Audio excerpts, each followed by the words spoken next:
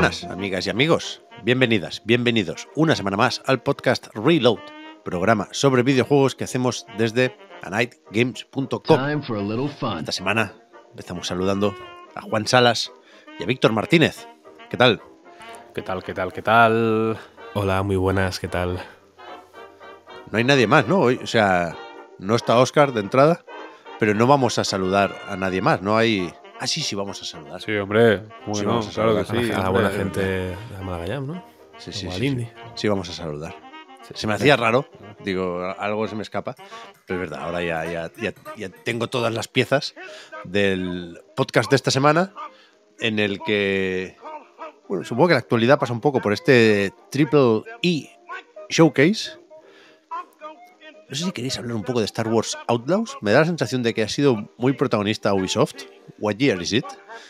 Pero no me parece mal, ¿eh? No me parece mal. No sé si tenemos también la historia de Víctor. Muchas incógnitas para, para el programa de hoy. Pero se ha rebajado un poco el hype, Víctor, porque no hemos insistido en ese tema. Pero la semana pasada estabas muy, muy, muy a tope con esta historia, ¿eh? No te habrás Bueno, arrepentido. Sigo, no, no, no. Vale, vale, vale. Sigo estando. Porque en el. Creo que en Patreon alguien propuso una historia, no sé si lo visteis. Sí, la vi, me gustó puso un. Me apuestas que la historia es tal. Y es una historia bastante loca, pero la mía es más.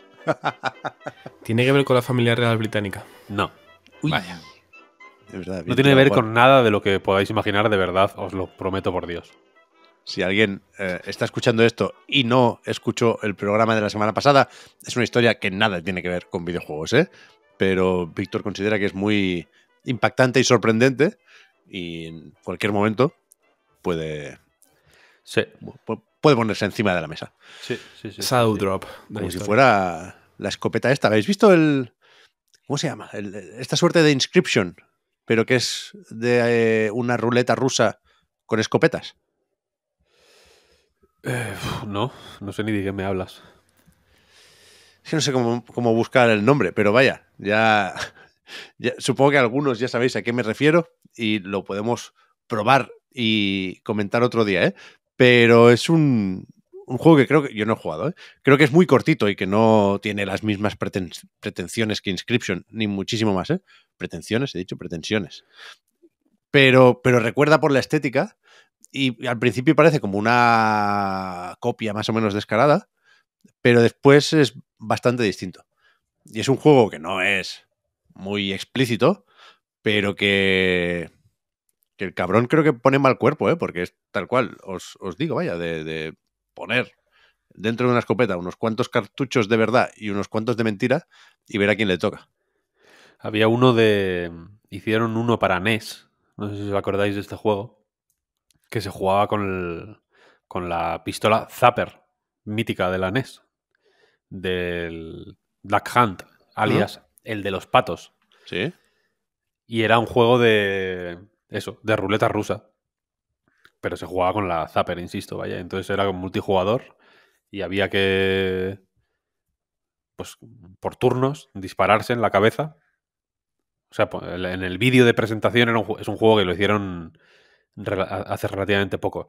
Y en el vídeo salía como un grupo de amigos que se ponía la pistola, la zapper en la cabeza, disparaba, y en la pantalla de la NES, o sea, estaba diseñado para jugar en hardware original, vaya, salía un personaje, no sé, no sé si era un vaquero o algo así, y tenía una voz digitalizada, así un, de estas voces eh,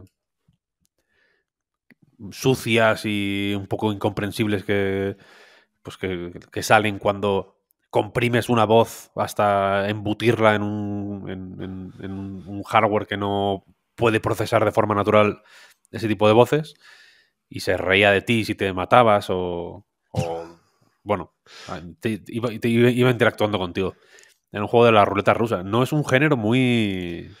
Yo creo, yo creo sinceramente, puede, puede que ahora que ya estamos eh, acusando un poco fatiga de roguelikes, de cartas, de granjas y tal, yo creo que la- el siguiente género al que los indies pueden eh, por el que los indies pueden apostar, quiero decir, puede ser el de la ruleta rusa. ¿Tú crees, no? Que tiene mucho futuro Sí, y espacio para muchos Sí. juegos, ¿no? sí. Creo que puede ser simple. Yo solo digo que puede ser el- la siguiente sensación en los Sí. colegios. Es que los colegios Ruleta rusa sí, showcase. Con la, Eh, con la Playdate, ¿no? Se está También. cocinando por ahí. Russian Roulette. Ahora, evidentemente, todo lo ruso está muy mal considerado, pero la ruleta rusa al final. Ruleta rusa, ensala- ensaladilla rusa, montaña decir. rusa. La, La, la- triple R. La ruleta rusa es rusa, porque la ensaladilla rusa no es rusa, quiero decir. ¿Y la montaña rusa acaso es rusa? Uf, claro, es que hay que, hay que investigar este asunto. eh. Ruso solo hay una cosa en esta vida que importa, que es la literatura. Ojo. Facts. Y las ruletas, barras. perdón. El, el juego este se llama Backshot Roulette. Y me vale suena, me suena. 3 euros. 2,69 ahora está Regalado, ¿no? con el 10% de descuento. Sí, sí, es que se ve que es muy corto, ¿eh? que, que- que no hay más. Pegas unos cuantos tiros, con suerte sobrevives y, y se- y se acabó. En principio no hay girito ni hostias, pero, pero me parece curioso. Me parece curioso. Un poco como la ruleta rusa, ¿no? Que también. Que tampoco es muy larga. Sí, sí, sí. Sin llegar a querer ser esto un, simula- un simulador, sí que. Vamos a salir de aquí peor de lo que entramos, necesariamente, ¿eh? si alargamos mucho esta conversación. Pero. La- la de la Es algo que, que dice Sí. la gente cuando juega a la ruleta rusa sí, también. sí, sí, sí. Estoy- es Es que las el- que- Las dos ruletas, ¿no? La ruleta de la fortuna y la ruleta rusa. Siempre La dices, ruleta de voy a salir fortuna". peor de lo que entré. Sí, sí, sí, sí. Pero, hostia, es que está guay, ¿eh? Es de esos juegos que me, me, me dicen algo, me gustan por eso, porque me impactan, pero no sé si prefiero jugarlo o, o- o saber que existe y ya está, ¿sabes? Con el Children of the Sun me pasa un poco lo mismo, Víctor. Uf, Children of the Sun es muy jodido, ¿eh? Ese sí que vamos a acabar jodido, mal. cabrón. Por eso, por eso, por eso, por eso. No, no lo has jugado ni lo has probado. Sí, hombre, sí, estuve ayer una hora, No. me lo compré. Es duro, ¿eh? es durísimo ese juego. Bastante duro. Muy duro. Muy no tiene filtro, no tiene filtro. Muy poco gracioso, no es, Sí. no es de risas, no, No. es de jaja, qué guay, ¿no? Como el Hotline Miami, ¿no? Que al final era como jaja, qué guay. ¿no? Has, has matado a la gente. No se salva Este- nadie. Este no tiene ningún tipo de humor. No, no, no, no, no. ¿Qué es lo que más os ha llamado? Yo, yo antes he dicho mi opinión, ¿eh? Pero ¿qué es lo que más os ha llamado la atención de la actualidad del videojuego esta semana? No sé. Es que últimamente hay que buscar en las entrevistas, lo cual me parece fabuloso, ¿eh? Pero. Pero no, recuerdo haber leído nada sorprendente. Pensando en declaraciones, ¿eh? Y por eso me, me- me iba a ir de cabeza al, a la Triple E Initiative, que es la organización con una serie de estudios independientes moderadamente exitosos, todos, te diría, que, que organizó y emitió ayer el Triple E Showcase, donde vimos varias cosillas, casi todas ya conocidas, pero que yo creo que bueno, admiten varias lecturas, varios puntos de vista y, por eso creo que puede haber un, debate interesante aquí, ¿eh? en, el podcast Reload, con suerte, pero también en, redes. En el Discord se estaba comentando bastante el, el asunto. Eh, introduce el debate si quieres. A mí me parece interesante. Bueno, sa- sabiendo eso, ¿eh? que quien organiza el evento es un grupo de estudios independientes que tienen como prioridad eh, hablar de su libro, enseñar sus juegos, que tienen, eh, pues, ya digo, la mayoría son títulos que ya conocíamos y ahora vienen con una actualización o llegan a plataformas nuevas, lo iremos repasando. en cuanto a anuncios, hubo poquita cosa. Es verdad que en la cuenta atrás, justo antes de empezar el evento, había un- una serie de mensajes graciosos. Lo típico que se hace también en videojuegos en los tiempos de carga, ¿no? Por ejemplo, se, apro- se aprovecha para colar un chiste por ahí. Y- y la primera que yo leí, mientras esperaba que empezara el evento, era una suerte de cita de un libro del Génesis, una especie de Biblia de los eventos digitales que se habían inventado esta buena gente, que decía que, eh, a modo casi de mandamiento, para hacer un evento así tienes que poner un anuncio importante al principio y otro al final. Creo que lo cumplieron de una forma bastante evidente, porque lo primero que vimos aquí fue el anuncio de Slay the Spire 2. No sé si los que habéis echado más horas a Slay the Spire eh, entendéis y celebráis la secuela. Entiendo por lo que vi ayer que la mayoría sí. Y acabó el evento con la sorpresa, lo digo de manera irónica porque se había filtrado de varias formas, de ese The Rock Prince of Persia, que efectivamente es un roguelite que eh, desarrollan entre Ubisoft y Evil Empire, ese estudio que lleva un tiempo encargándose de Dead Cells, después de que Motion Twin dijera, pues hasta aquí. Eh, nuestra relación con el juego, eh, que nos ha dado muchas alegrías y mucho dinero, pero nos ponemos ya con lo siguiente y dejamos que Evil Empire se, encargue de las actualizaciones y las novedades de los próximos años, ¿no? Y, y creo que esos dos fueron los titulares de, del evento y que lo demás, había alguna, alguna cosa fresca, alguna cosa que apetece. Se ve que en este, este tipo de eventos eh, se lleva muy bien con la wishlist de Steam. Y es que no estoy muy dentro de esas dinámicas.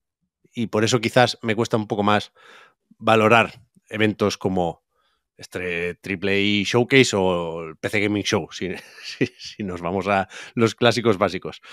Pero a mí me parece, o sea, no me gustó el evento, por, por supuesto.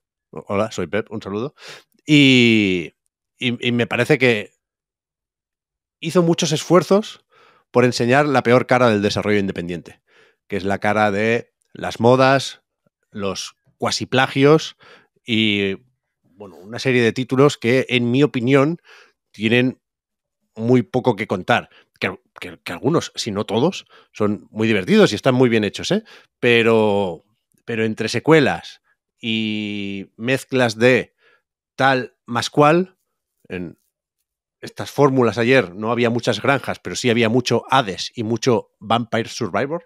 No sé por qué, bueno, por, su éxito, supongo. Pero,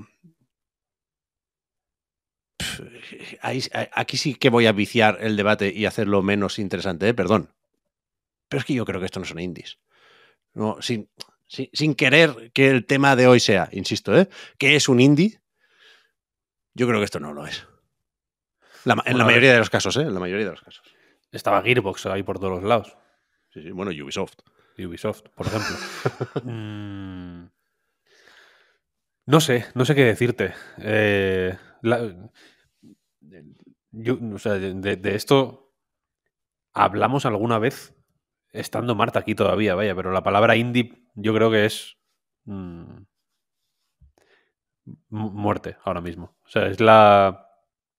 Tengo la sensación de que la palabra indie, lo que, lo que implica y lo que significa y, lo que, y la energía que transmite es...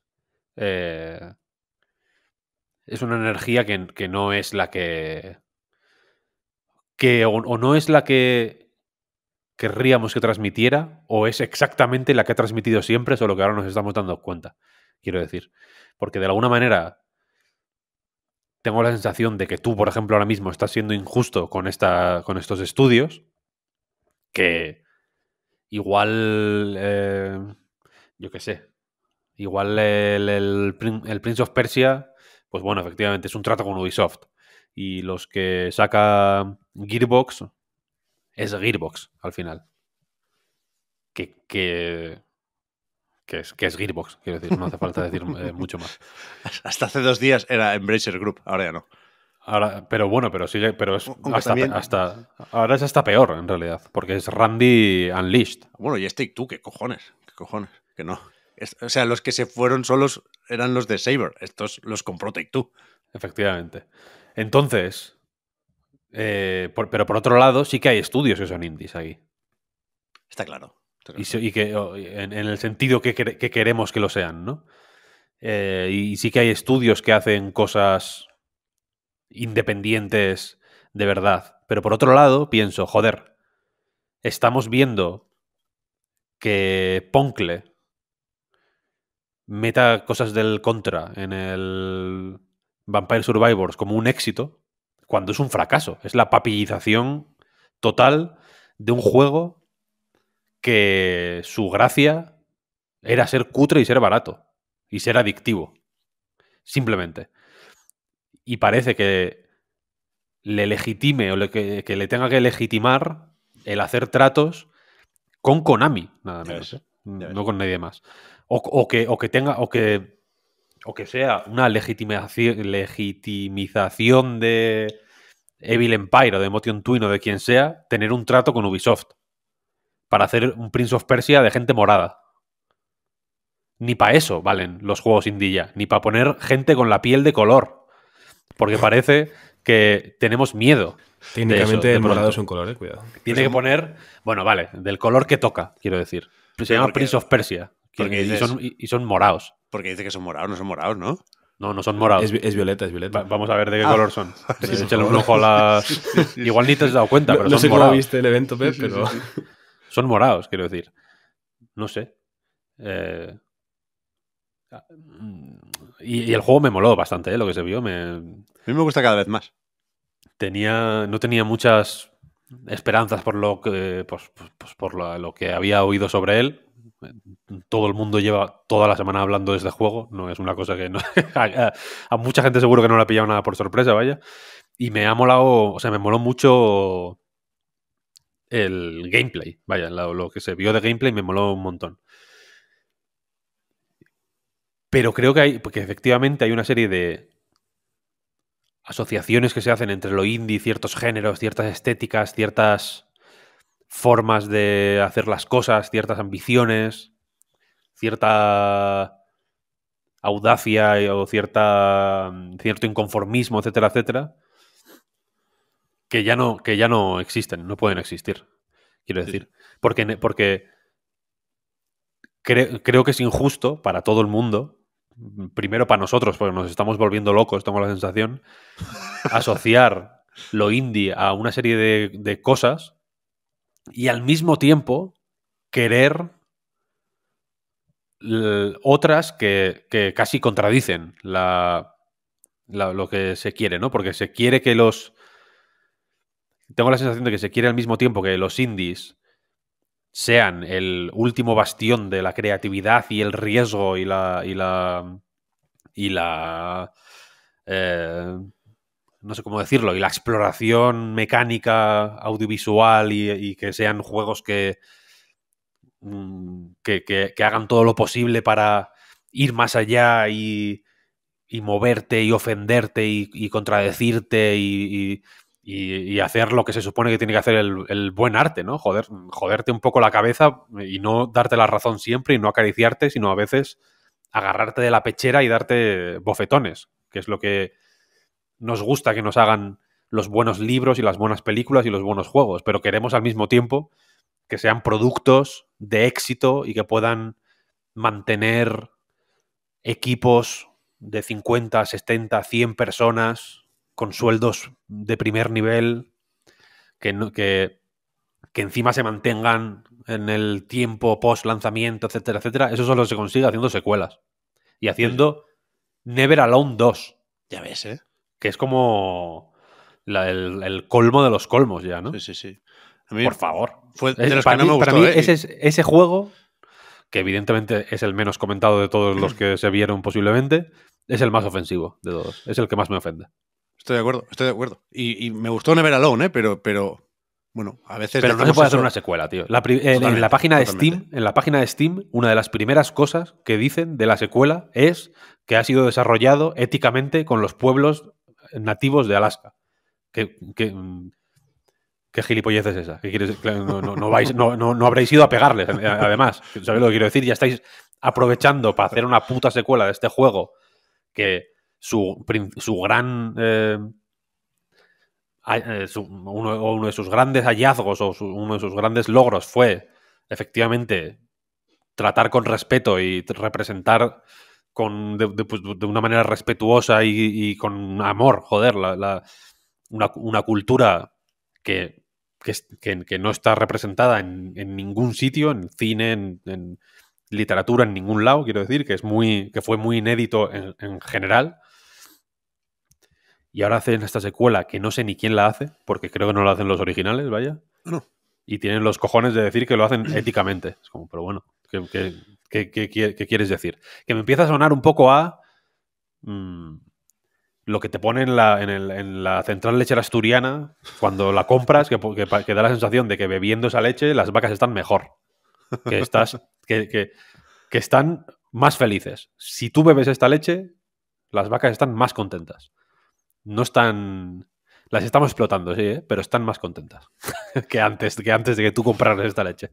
Hostia, me empieza a sonar un poco a- a- así. Y este evento creo que tenía la...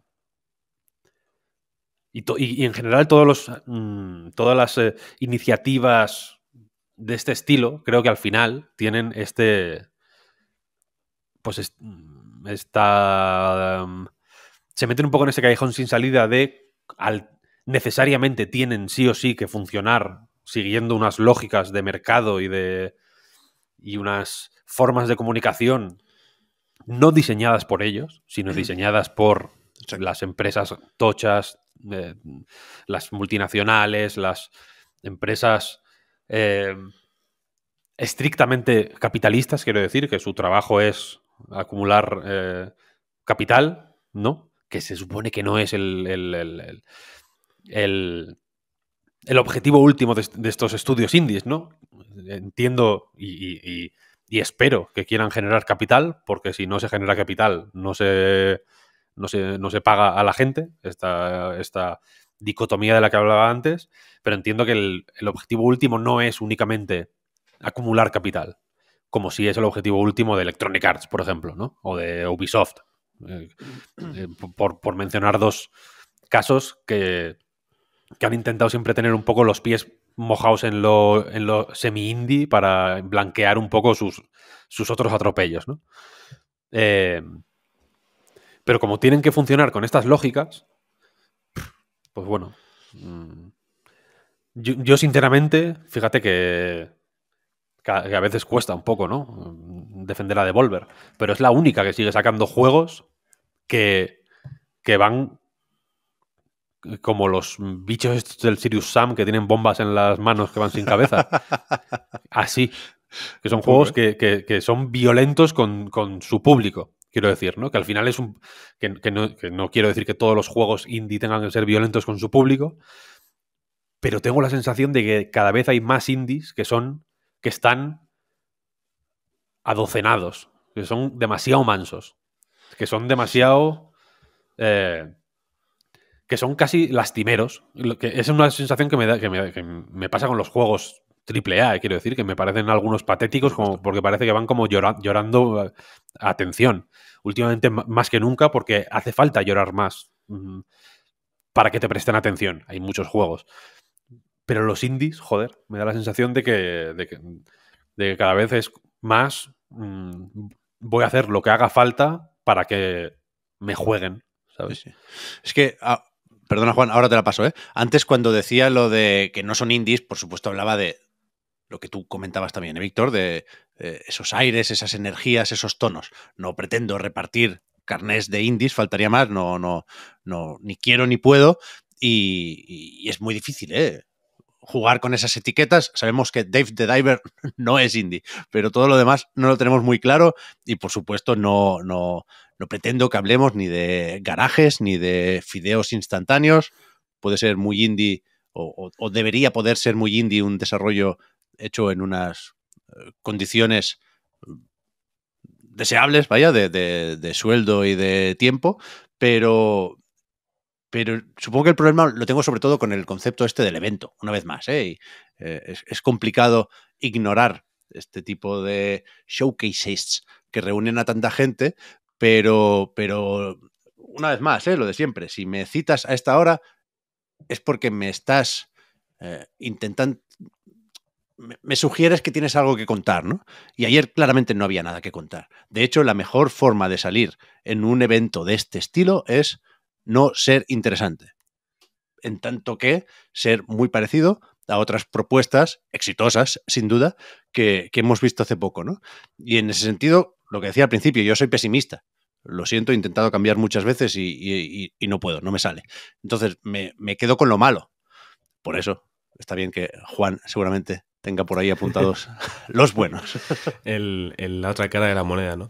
Lo primero, estoy muy de acuerdo con, con lo que habéis comentado, sobre todo lo que decía Víctor de, de Never Alone y, y lo de buscar la esencia de la creación en los indies y demás. En esa parte estoy muy de acuerdo, no quiero eh, ir a contra de ese mensaje, pero sí es verdad que, igual soy más optimista con, el evento ayer, sobre todo, ¿no? Con este, esta parte final que decías, Pep, del evento, yo lo veo justo, justo al revés. O sea, entiendo el punto de, mm, si te citan a una hora es porque me quieres enseñar algo y quizá no me has enseñado tanto y no ha sido tan relevante, pero precisamente ahí es donde creo que ha sido un éxito este evento concreto. Evidentemente, la iniciativa AAA no representa a todo lo indie, ni mucho menos, ni creo que lo pretenda, aunque al final podamos pensar, mira, se han juntado muchos estudios indies, aquí vamos a ver lo mejor de lo mejor de lo indie. Eh, no creo que sea el caso, simplemente es un grupo que se ha juntado y han enseñado una serie de unos 35 juegos en, este evento. Pero una cosa que se ha hablado mucho, sobre todo aquí en el Reload, cuando yo se escuchaba antes de participar, por ejemplo, recuerdo cuando se anunció Season, un evento enorme, lleno de juegos grandísimos, y se hablaba de qué es mejor al final, ser eh, cabeza de ratón y estar en un evento pequeñito pero ser el juego más destacado, o plantarte un evento repleto de juegos AAA y ser ese chiquito que destaca, ¿no? Ser, eh, en este caso, cola de león. Eh, hubo casos que igual les vino bien eh, destacar un evento con mucha más eh, audiencia y otros que igual prefieren un evento más concreto, un Black Voices in Gaming, un Games for Games, un evento como un Wholesome Games Direct, un evento muy concreto donde puedes destacar y otros prefieren eso, ir a un The Game Awards a intentar hacerse un hueco aunque sea claramente más, más difícil. ¿no? Me parece que este showcase de la iniciativa AAA es un punto intermedio, no o yo pensaba que no iba a tener la atención de los grandes eventos que toda la prensa de videojuegos está pendiente, pero que iba a tener más atención que estos eventos más pequeñitos que vemos un par o tres y hacemos una noticia por ahí en, en Games para quien le pueda interesar.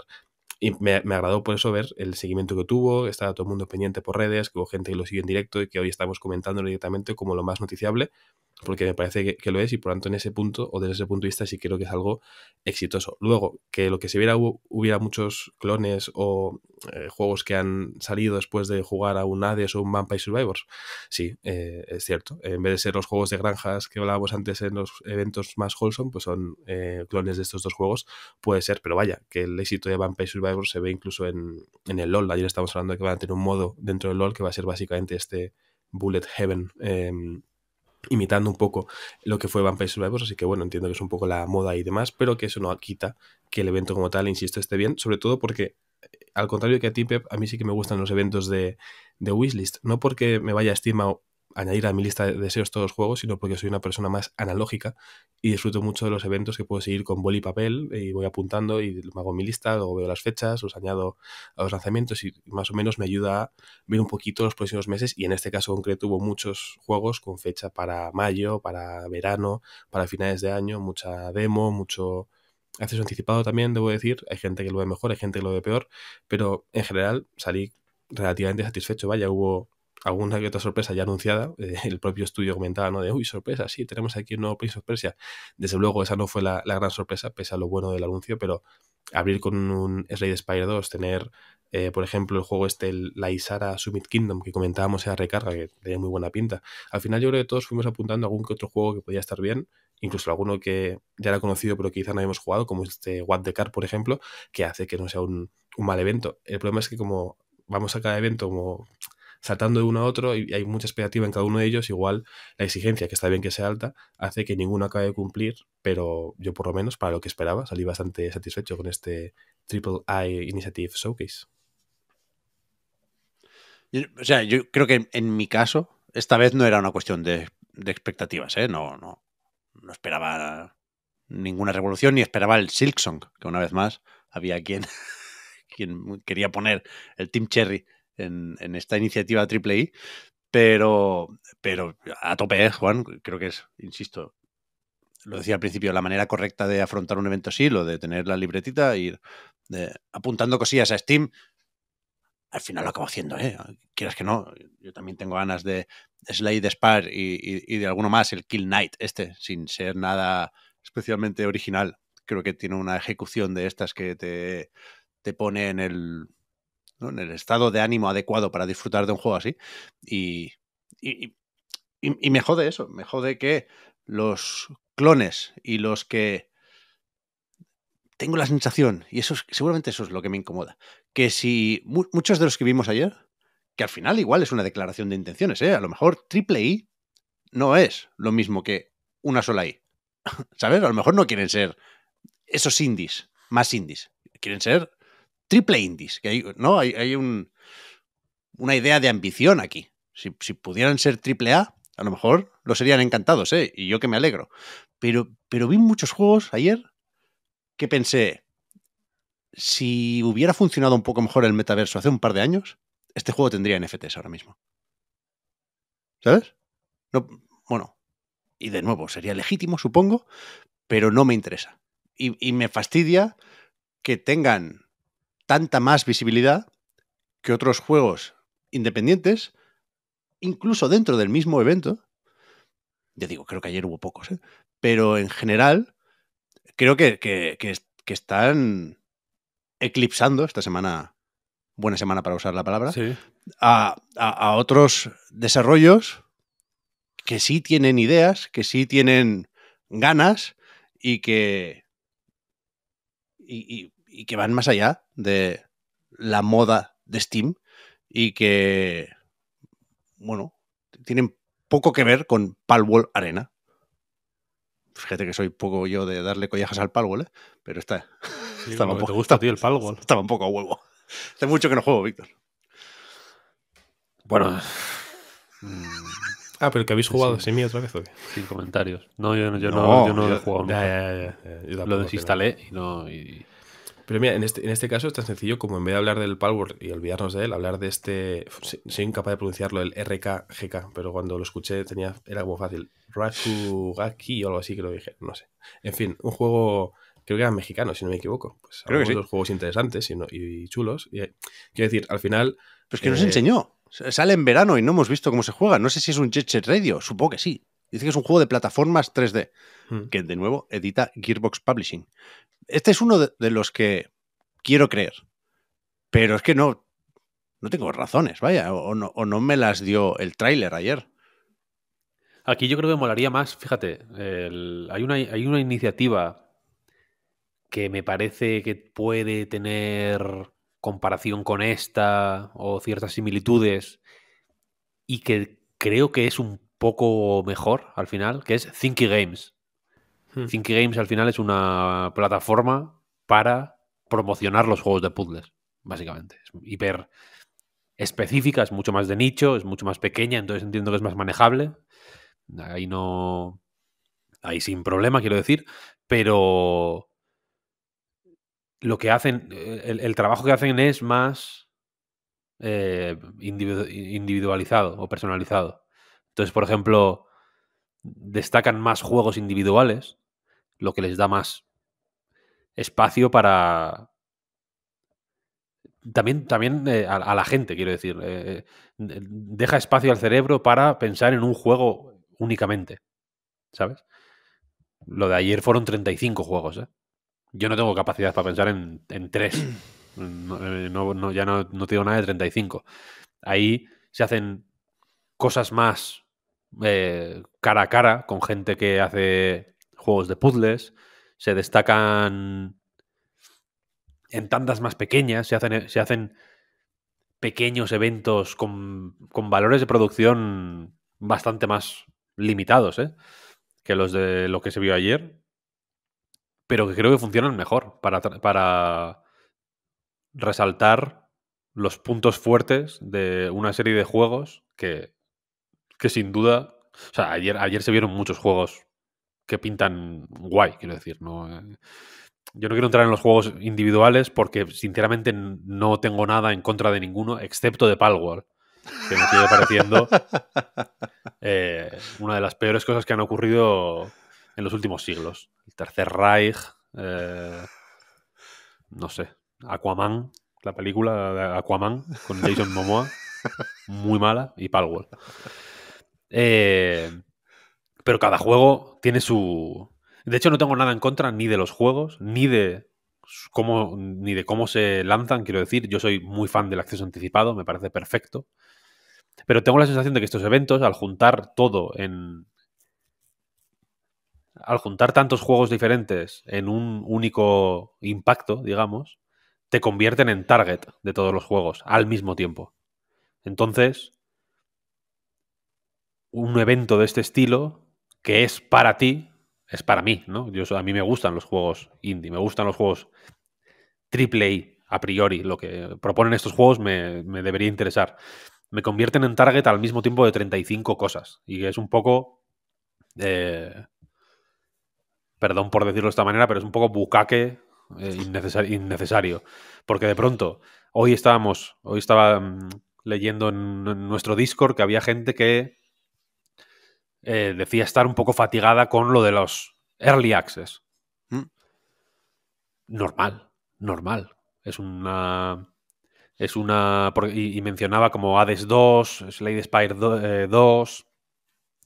No recuerdo qué. Como 3, 4 juegos de Bueno, el- anticipado que le interesaban. El mismo Rook Prince El of Persia. El Rogue Prince of Persia, efectivamente. 14 de mayo en acceso anticipado. Y en Es- Steam. Eso es, eso es. Mm, Pero es que mola el acceso anticipado, quiero decir. Sí, Cualquiera que haya seguido un acceso anticipado de cerca, o más o menos de cerca, jugando X horas con cada actualización grande, por ejemplo, o X horas al mes cada vez que sacan un parche tal. Eh, joder, es un formato que mola mucho. Mola mucho seguir la evolución del juego. Eh, primero por el interés documental que puede tener, ¿no? El ver cómo evoluciona un juego desde su primera fase hasta, o su primera fase pública hasta la, la 1.0, por ejemplo. Pero también porque aprendes a jugar mejor. Quiero decir, como a, nivel, puramente privado y, y egoísta, mola mucho aprender a jugar a un juego a medida que, la, que, que evoluciona. Creo que la, la relación que trabas con el juego a muchos niveles es muy distinta y muy única y, y- y es algo que, tengo la sensación de que la mayoría de juegos que salen sin más no pueden conseguir eso. Pero Sí. tú eso lo puedes hacer con un juego, no con, no con cinco. Es Sí, sí. imposible, no se puede. No, es, eh, es, es que no, no se puede, quiero decir. Es, es, eh, físicamente imposible. No, no- no da, de nuevo, no da la cabeza para seguir tantos eh, o, muchos accesos anticipados. Cuando hay incluso un componente narrativo, quiero decir, como en Hades, por ejemplo, yo creo que peor todavía. Porque, porque es un poco seguir una historia a, a trompicones, ¿no? Mm. Eh, ento- en- entonces, pues bueno, mm, ya te digo que eh, a mí me, atosiga un poco lo de, lo de- lo de los eventos, me he dado, cuenta. No, tanto, no tengo nada en contra de, ya digo, de, ni- de ninguno de los juegos, ni de, ni de los formatos, ni de... Ni siquiera tengo nada en contra, aunque, aunque sí que, ya decía antes, siento algo parecido a una incomodidad con que salgan muchas secuelas de indies. Perfecto, sacad secuelas de indies. Claro que tienen que sacar secuelas de indies. Los, los juegos, ¿por qué pollas puede Ubisoft sacar 70 Assassin's Creed y no puede Megacrit sacar 40 Slade Spires? Sacad, que hagan Slade Spire toda la vida. Yo espero que esa gente se muera sin haber hecho nada más que Slade Spire. ¿Por qué? Pues, pues porque tienen un talento innato para hacer el juego de cartas más guapo de la puta historia de la humanidad. Perfecto. Pues que no hagan otra, cosa. Quiero decir, no, eh, no- creo que sea justo, de nuevo. Creo que he hablado muchas veces de jus- de justicia, pero creo que hay algo. mm, Creo que es importante pensar en, la- en las injusticias en las que podemos incurrir con este tipo de juegos, poniendo unos estándares anormalmente altos para ellos y anormalmente bajos para otros. Creo que es injusto pedirles a esta a Megacrit que reinventen la rueda con cada puto juego al mismo tiempo que aplaudimos con las orejas que el Spider-Man 2, por ejemplo, que es literalmente el mismo juego que el 1. Y literalmente el mismo juego que Miles Morales. Están guapos los tres, guapísimos, espectaculares. Me, encantaron los tres. Los disfruté los tres muchísimo. Creo que los disfrutamos todos, eh, esos tres juegos. Pero son iguales. Son el mismo juego, quiero decir. Sí, es el fútbol y con camisetas de tres equipos distintos. Pero el juego es el mismo. ¿Sabes lo que quiero decir? No pasa nada. Perfecto, perfecto. Con esta gente, pues lo mismo. Guay, hay que. mm, Creo, creo que hay que dejarles que hagan eso, ¿sabes? Y que, y que sería injusto no hacerlo. Pero la, los mecanismos por los que se promocionan, quiero decir, eh, son. No sé. Tienen algo de. Tienen algo de que dan pudor, ¿sabes? A mí me da un poco de dentera cuando pienso en cómo se, se tienen que vender este tipo de, de juegos. Pero es que- Simplemente. También creo que hay una cuestión de que se forman, de que. de que hay mil nichos distintos y las. y, y- y- y- y está creciendo de manera exponencial la- la- la- los nichos que se están formando. O las. o los eh, círculos de interés cada- progresivamente más específicos que se están formando alrededor de los videojuegos, ¿no? Y, hasta hace no mucho podíamos tener más o menos la seguridad de que si nos interesaban los tres, cuatro juegos mm, más populares, teníamos una visión panorámica y, fenomenal de- de cómo estaba el videojuego y cada vez es menos así, vaya. Y entonces como que hay otra incomodidad ahí de, bueno, tengo la sensación de que esto me apela a mí, pero en realidad igual no, ¿sabes? Pero es que ah, esas incomodidades, yo creo que están ahí y, y pueden ser un poco distintas para cada uno. Pero, mira, por ejemplo, decías lo del Early Access, Víctor. A mí también me gusta el acceso anticipado. ¿eh? Cada uno decide si entra a un juego o a un proyecto cuando está en Early Access o cuando sale la 1.0. Pero creo que la mayoría hemos vivido ya algún acceso anticipado chulo, ¿no? En mi caso puede ser Nuclear Throne eh, con Hades, cuando se anunció la, la secuela, yo celebré lo del acceso anticipado porque me perdí el del primer Hades, ¿no? El- que era en la Epic Games Store solo en su momento, ¿no? Y, y- y viendo documentales y diarios de desarrollo y jugando a Hades, dije, coño, me, gustaría haber estado ahí desde el principio y ver cómo iba evolucionando y creciendo el proyecto. Si lo puedo hacer con la secuela, yo seguramente lo haré. ¿Qué pasa? Que, que, que se pervierte un poco la idea del acceso anticipado desde el momento en el que ya no se hace para financiar el desarrollo o para testear el juego de una forma que se puedan permitir estos estudios sobre la marcha, porque para hacer Hades 2 tienen todo el dinero del mundo, no, pero tienen dinero de sobras, ¿no? Podrían prescindir del acceso anticipado y, y simplemente está la sensación, y no tengo pruebas, pero está la sensación de que se hacen accesos anticipados porque toca, por marketing. The Rock Prince of Persia tiene acceso anticipado porque Ubisoft no quiere hacer aquí otra cosa que no sea su Dead Cells. Le ha tocado al príncipe como le podría haber tocado a Sam Fisher. Pero Molaría, ¿eh? De Rogue, Splinter Cell. no estaría mal. Pero que claramente lo que quieren es usar la fórmula y la estrategia del Dead Cells. Y, y- y no les digas otra cosa porque no la van a querer. Dead Cells no, no porque sea un juego muy querido y muy bueno, lo es, sino porque vendió, ¿qué? 10, 20 millones de copias. Una barbaridad. Una Yo sí barbaridad. que creo que, a ver, los accesos anticipados yo sí que creo que se hacen para testear el juego.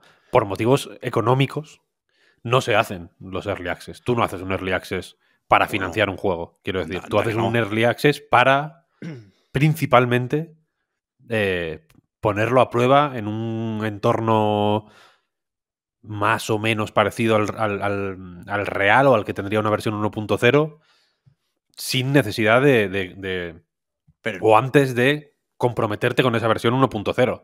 Para financiar un juego, tú haces un Kickstarter o haces mi- mil cosas más, pero. bueno, pero esto también, va- o sea, tradicionalmente Es ha hecho para que vaya entrando dinerico durante sí, pero es, es las primeras secundario. Yo, etapas cre- del yo desarrollo. creo que es secundario. Yo creo que es secundario. Yo eh, no, no tengo, la- o sea, no tengo la sensación de que. de que. mm, un early access implique un goteo de dinero más o menos constante. Puede implicar una primera. un primer chute el lanzamiento y posiblemente con algunas, algunos hitos en el eh, early access irá entrando dinero. Pero creo que, es los, creo que no es lo principal. Creo que, por ejemplo, en el caso de Slade Spire, se ve o, o se debería ver muy claramente que un early access es importante no por el dinero, evidentemente, sino por, por probar el juego. No creo que fuera importante por el dinero en el primer eh, Slade Spire, vaya. el, el- el testeo no deja de estar relacionado con el dinero, ¿eh?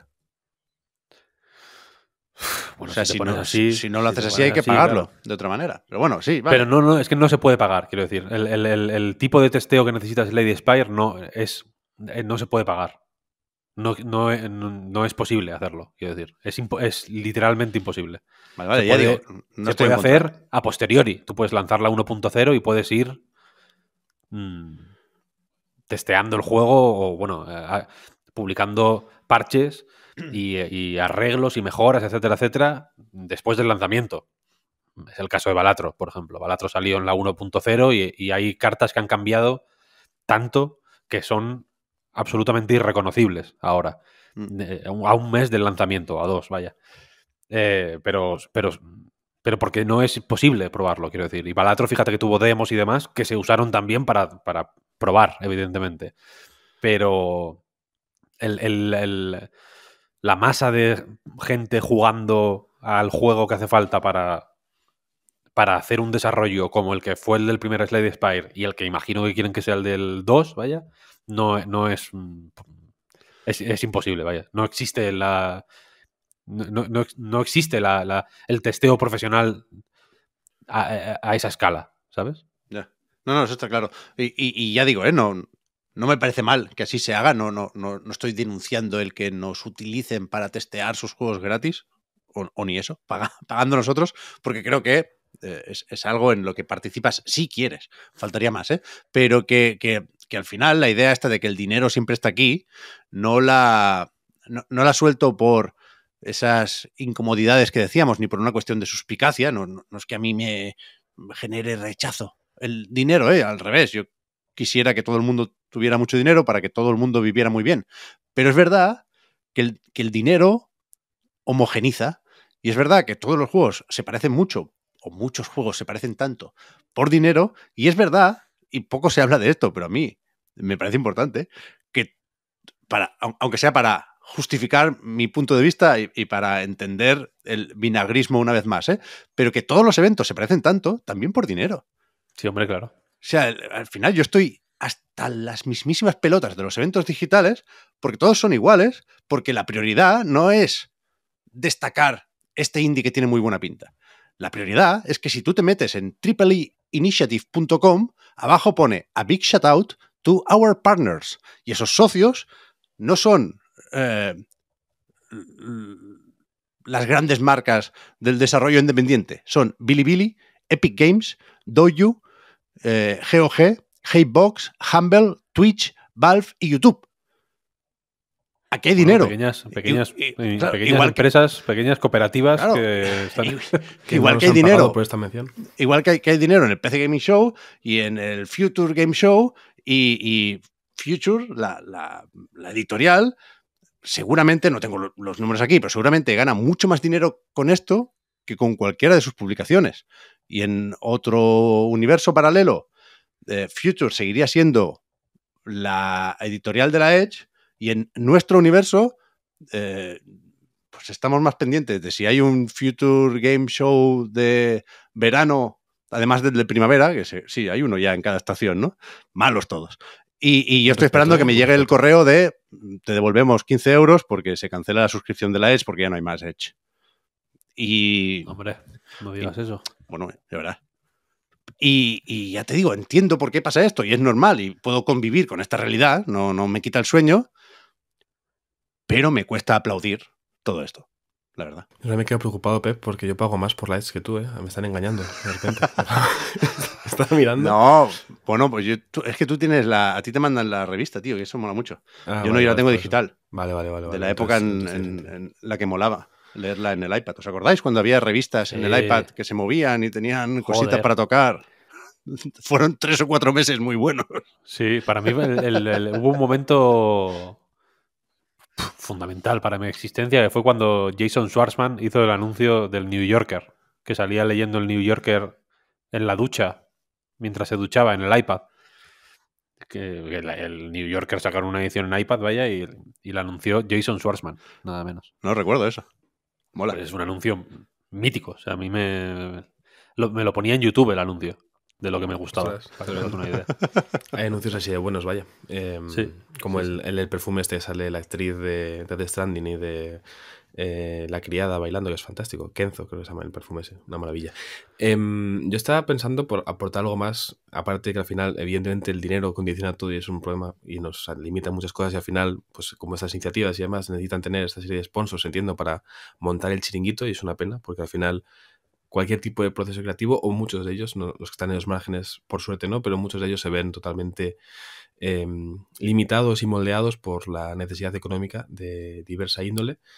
Pero por aportar algo más como persona que se bueno, que ve muchos eventos, iba a utilizar un verbo un poco más feo, pero como persona que ve muchos eventos digitales de este tipo, de diversa índole y algunos mejores y otros peores, al final ojalá hubiera más eventos como el de eh, Day of the Devs, una selección más concreta de juegos muy buenos y demás. Que estoy de acuerdo con lo que decías, Víctor, de Devolver también, eh, por juegos así como con más mordiente, ¿no? Más colmillo, un filo que se note más, sin duda.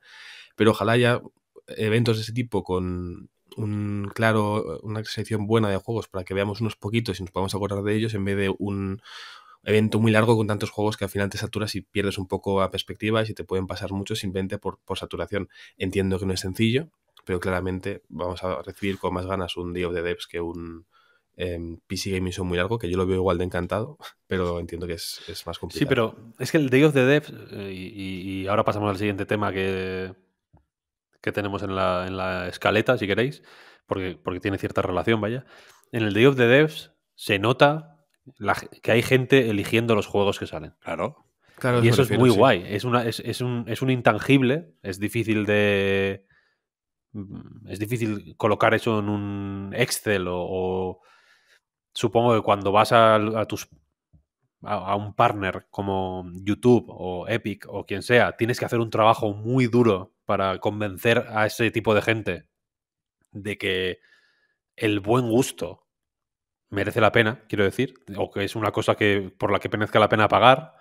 Pero en el Day of the, el Day of the Devs, si, si es el, el, mejor de estos eventos digitales que hay, sin duda lo es, quiero decir, no hay, no hay ningún tipo de, de, de, duda ni de discusión ahí. Es porque se nota que hay gente eligiendo los juegos que salen. Simple, no, no, no te digo que hay que, mm, que, mm, yo que sé, que los juegos que salgan sean eh, ¿no? una cosa mm, fuera de serie, cosas hiper underground. No, tiene por qué ser infalible, pero hay una intención.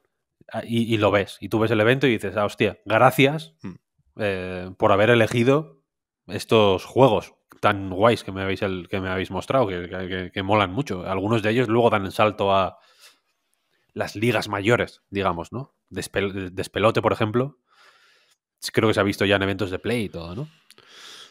Creo que de Play no, pero lo saca Panic. Pero en, el, Panic sí lo vimos. En el canal de YouTube de PlayStation oficial sí que ha salido, por lo menos.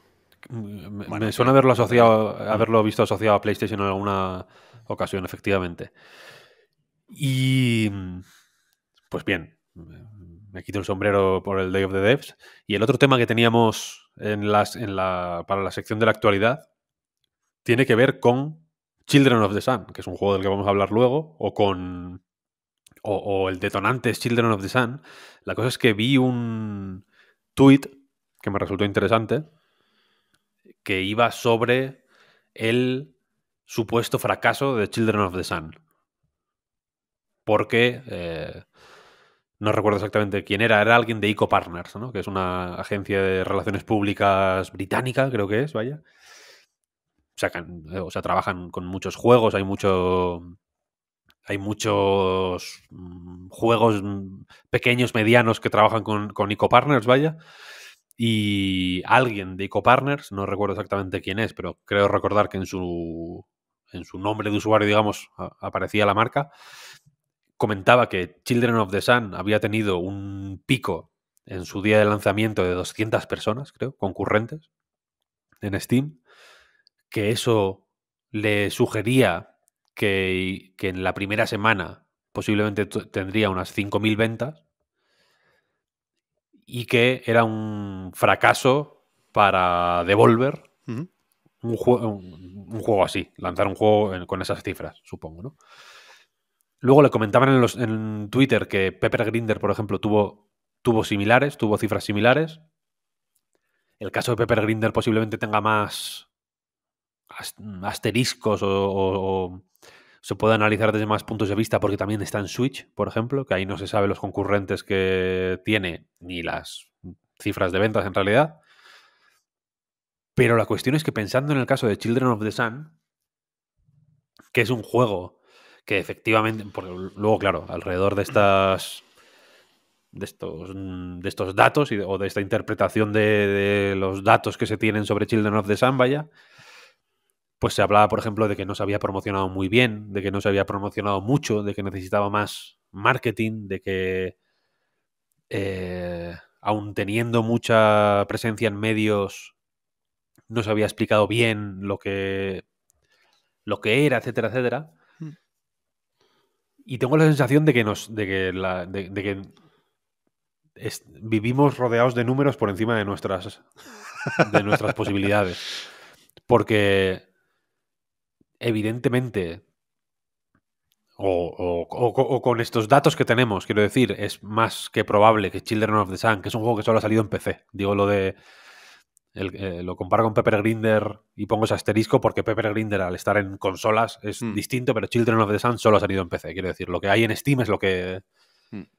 es lo que hay porque no ha salido ni en GOG ni en ningún otro lado. Eh, el caso de Children of the Sun es, es curioso porque tengo la sensación de que no necesita vender muchísimo más de lo que va a vender en el primer mes para ser más que rentable. Es un juego que lo hace una persona.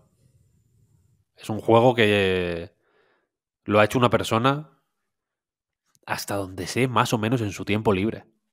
Hmm. Que lo cogió Devolver más o menos tarde y que no parece haber hecho efectivamente una inversión mucho más mu- muy grande en promoción porque no tengo claro que promocionarlo más hubiera sido útil para nada. Es un juego muy es un juego muy específico, iba a decir, pero también es un juego muy desagradable, es un juego muy violento, es un juego que no es para todos los públicos, no porque no sea para niños, sino porque tampoco es seguramente para la mayoría de adultos. Tiene, tiene cosas muy, muy, muy jodidas. Es un juego muy bueno, a mí me ha gustado mucho. Me lo pasé ayer precisamente. Pero es un juego que, creo que, el, que, nos, que nos puede servir para recalibrar nuestra idea del éxito y del fracaso. Creo que para muchos juegos,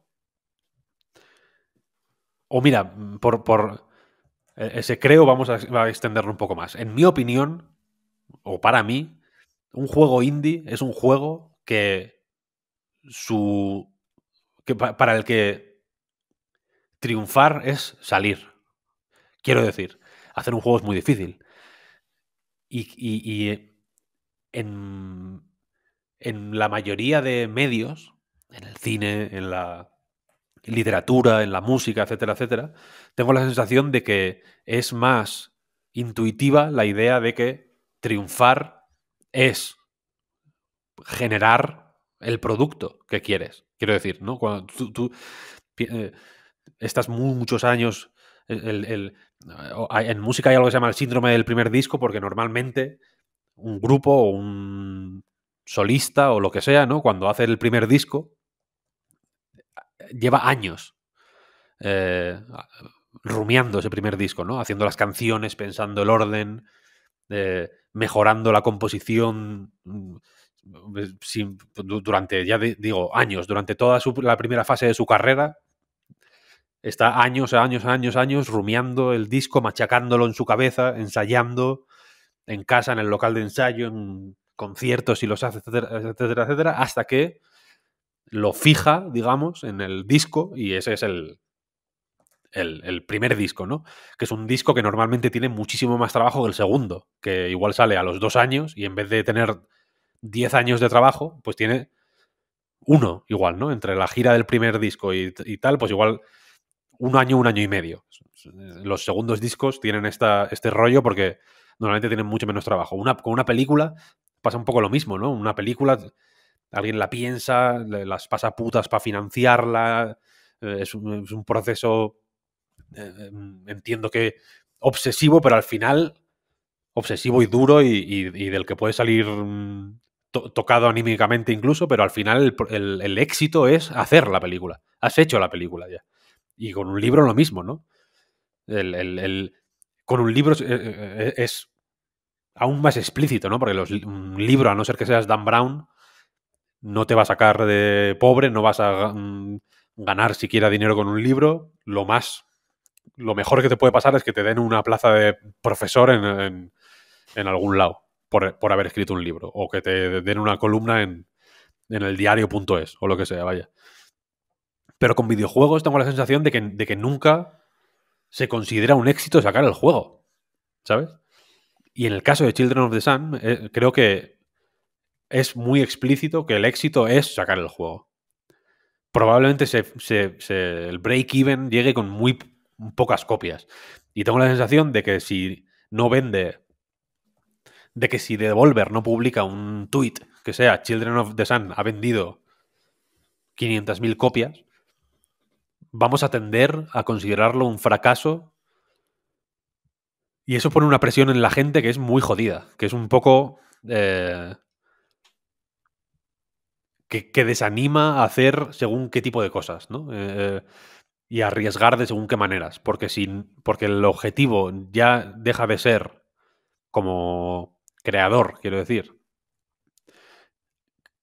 alcanzar la línea de meta de lanzar el juego, de tener una idea, proyectarla, eh, encontrar la forma de llevarla a cabo y ejecutarla y, lanzar el juego, ese deja de ser el objetivo y pasa a ser eh, conseguir una aceptación mm, a través de las, de, pues, de las ventas, evidentemente, pero supongo que también a través de los medios, de los influencers, de redes sociales, etcétera, etcétera, que, que creo que violenta un poco la- la relación de la gente que hace los juegos con la creatividad. Y violentando esa, esa relación, o enturbiándola, creo que se enturbia también la relación que nosotros mismos tenemos con la creatividad y con la. y con la. y con, el- y con lo que hace la, la- gente que hace juegos. ¿Sabes lo que quiero decir? Y, y- y- y quería, y quería plantear el tema porque creo que es ha, sido casualidad, evidentemente, que salga en, en la semana de los triple I, pero creo que no tiene. O sea, que, que no está tan alejado de lo- del tema de los triple I o de algunos temas que hemos tratado eh, hasta ahora en, el- en este episodio, vaya, eh, como podría parecer. Mm. Creo que tiene mucho que ver, de hecho. Sí, sí, sí. Me parece una reflexión muy acertada, Víctor. Supongo que esas expectativas con Children of the Sun no son las mismas eh, para René Rother, que es el desarrollador, que para Devolver, aunque imagino que tampoco esperaba aquí eh, la buena gente de Devolver tener su próximo Fall Guys, ¿eh? Pero, ¿Te imaginas? bueno, o- ojalá. en la, de la reunión de accionistas pensábamos que iba a desbancar a Fortnite, no sé qué ha pasado. pero que, que es verdad, que es verdad, que- que puede ser un éxito, un juego que, que haya vendido esas 5.000 copias que se calculaban en el caso de Children of the Sun. Estoy viendo que sí, otra, otra métrica que se usa para intentar eh, colocar en la fórmula y aislar la X es lo de las reseñas en Steam. Ahora tiene 125, que son muy positivas. Y, Joder, y son bastantes, ¿no? 125 no te creas, ¿no? Para este juego. Ya, ya, ya. Bueno, pero que, que es verdad, que, que- que debería ser más fácil ver el éxito en el hecho de haber publicado el juego y, que sea un juego bueno y que sea un juego que seguramente es el que su responsable quería hacer. Vaya, a mí me, me parece un juego, y ahora lo comentamos un poco más, ¿eh? del que estar orgulloso. Y, y quizás deberíamos hacer un esfuerzo para tener eso un poquito más en cuenta. Es cierto, yo también pensé que eh, esos concurrentes eran poquillos, ¿eh? Quizás, como apuntabas también, Víctor, eh, a alguien de Devolver o de la desarrolladora le puede preocupar más el caso de Pepper Grinder, que ahí hay un estudio, ahí hubo un Nintendo Direct o un eh, Indie Wall o lo que sea de Nintendo en cualquier caso, ¿eh? Y, y quizás las cifras de ventas en Switch nos cuentan una película distinta, pero, pero es verdad que prestamos demasiada atención a los números. Eso sí, eso sí que sin sí. duda, sin duda. Eso sí que sí. Y, so- y sobre todo que, que las interpretaciones que sacamos de ellos, a veces, me parece que nos hacemos un poco trampas al, al solitario, que las retorcemos como si fuéramos eh, Warner. A veces nos ponemos la cabeza, la, la careta de Warner, que supongo que es la careta del cerdo del Hotline Miami, Ojo, ensangrentada. ojo. Eh, y, y nos hacemos trampas para que los números signifiquen lo que nos, lo que nos dé la gana, ¿no? En realidad, en, en cada momento. Por En vez de. Yo creo que es, que, es, que es sano y animo a la gente a hacerlo. Es, esto vaya únicamente eh, eh, empezar a analizar los números cuando has analizado todo lo que no sean números. ¿Sabes lo que quiero decir? Porque creo que la película cambia considerablemente si lo haces de esa manera. Hombre, es que claro, los, los números son objetivos, pero con qué los comparas y la escala que utilizas, ¿no? Entonces al final depende mucho, ¿no? Hablábamos de los concurrentes, por ejemplo, este año muchas veces, y cuando eran cuarenta y pico mil para el persona el Yakuza nos parecía genial, pero cuando empezamos a hablar de Power, pues se nos fue la escala por, pues, muy lejos y ya eso nos ha eh, afectado en muchas otras comparaciones posteriores cuando cada uno tiene su escala. No puedes esperar, hablabas tú antes, Víctor, de Aquaman, no va a ser lo mismo lo que espere en taquilla eh, Aquaman que lo que espere hacer Jordan Peele ahora que ha adquirido eh, Monkey Man de Dev Patel, ¿no? Pues son pro- proyectos distintos con objetivos distintos y al final lo peligroso de vincular este éxito o no a cifras y sobre todo a cifras muy elevadas de jugadores concurrentes o de ventas es que a veces pues puede haber más fracasos simplemente por haber puesto la mira donde no toca. Yo creo que los que hacen juegos sí que saben que, que el juego salga ya es un éxito. Por eso cuando el juego llega a la fase Gold se celebra como se celebra. En nivel oculto, por ejemplo, eh, Alejandro Cáceres siempre comenta que el hecho de que un juego haya salido ya hace que sea un muy buen juego porque es muy difícil hacer juegos. Hay muchos que se quedan en el camino, ¿no? Entonces ya es un éxito haber conseguido que tu juego llegue y cuanto más gente lo juegue mejor porque más gente haya jugado. Pero si juega muy poquita gente, eh, no quiere decir que sea un fracaso, salvo que tu scope, tu objetivo sea una cosa tremenda y te pegues cierto batacazo. Pero eso son cosas más para grandes proyectos con grandes inversiones. Por eso entiendo la diferencia entre lo que se esperara con este Children of the Sun o el Pepe Grinder, por poner un ejemplo así recientemente comentado, claro. Pero, eh, ocurre también que incluso con Triple SAS, ¿eh? porque eh, se, se comentó la. mm, lo de que la séptima temporada del Battlefield 2042 iba a ser la última, por ejemplo, ¿no? Y, mm, y mirando los- las cifras del Battlefield 2042 en, en SteamDB, vaya, de alguna manera mi cerebro interpretó que las cifras del Battlefield 2042 eran malas, eran de juego de fracaso y que por eso cerraba, mientras que las de Battlefield 5 eh, eran de, de, de, eh, éxito eh, mantenido en el tiempo, cuando son más o menos las mismas en realidad. Quiero decir, hay más o menos la misma gente jugando a Battlefield 2042 que al Battlefield 5, en realidad. Y creo, es que no, creo que no quedó grabado, pero me parece que lo hablé contigo, Pep. Vaya, que, que Mm. a mí me daba la sensación de que el 2042 era un fracaso y el otro era un éxito, cuando en realidad es lo, es lo mismo. ¿no? Bueno, no, lo mismo no, ¿eh? Bueno, similar. No recuerdo si el 5 llegó más tarde a Steam y primero estuvo en Origin, lo que ahora sigue Play. No, Salió más es que- tarde en Steam, sí. La, la verdad es que no lo recuerdo. Pero, pero claramente 2042 fue un fracaso más sonado que el 5, ¿eh? Y mira que el 5 tuvo sus problemas también. ¿eh? Battlefield tam- lleva una rachita que, que déjalo ir. Sin, sin Pero- duda, pero quiero decir que, que la, que, que la objetividad de los números, quiero Sí, decir, sí. Hace, hace pensar que si veintipico mil personas jugando a un juego eh, es un éxito para uno, tiene que serlo para otro también. En realidad. Sobre todo con dos juegos de scope similares, de que vienen de la misma gente, que a priori tienen, entiendo, necesidades más o menos similares, no son juegos tan, tan distintos como para, creo yo, vaya, que alguien me corrija si no es así, como para esperar que una diferencia de 500 jugadores en el pico de las últimas 24 horas eh, se- sea tan, tan eh, definitorio, ¿no? Pero tengo la sensación de que Palwall nos jodió, que fue un poco como, que hubo como una sobredosis ahí de cuando tienes como TikTok, ¿sabes? Que de pronto mm, tienes tanta dopamina en el cerebro que, que- que no disfrutas de, la- de ver, de ver el sol salir, que te jode la, la relación con, el, con tu entorno. Pues tengo la sensación de que, nos, de que nos mató eso, ¿sabes? Y que de pronto ves que Unicorn Overlord vendió 500.000 y piensas, ay, pobres. Pues lo, lo bonito que fue con el Palworld, tío. un- cada mañana un tweet con un millón más. Eso, o sea, eso, Siete. Eso es el, el- el síndrome Bitcoin. ¿Sabes? Que de pronto este es pen- pensar, ya está, el Bitcoin va a valer 5 millones de, de dólares mañana. ¿Sabes? Como que no hay un, un límite.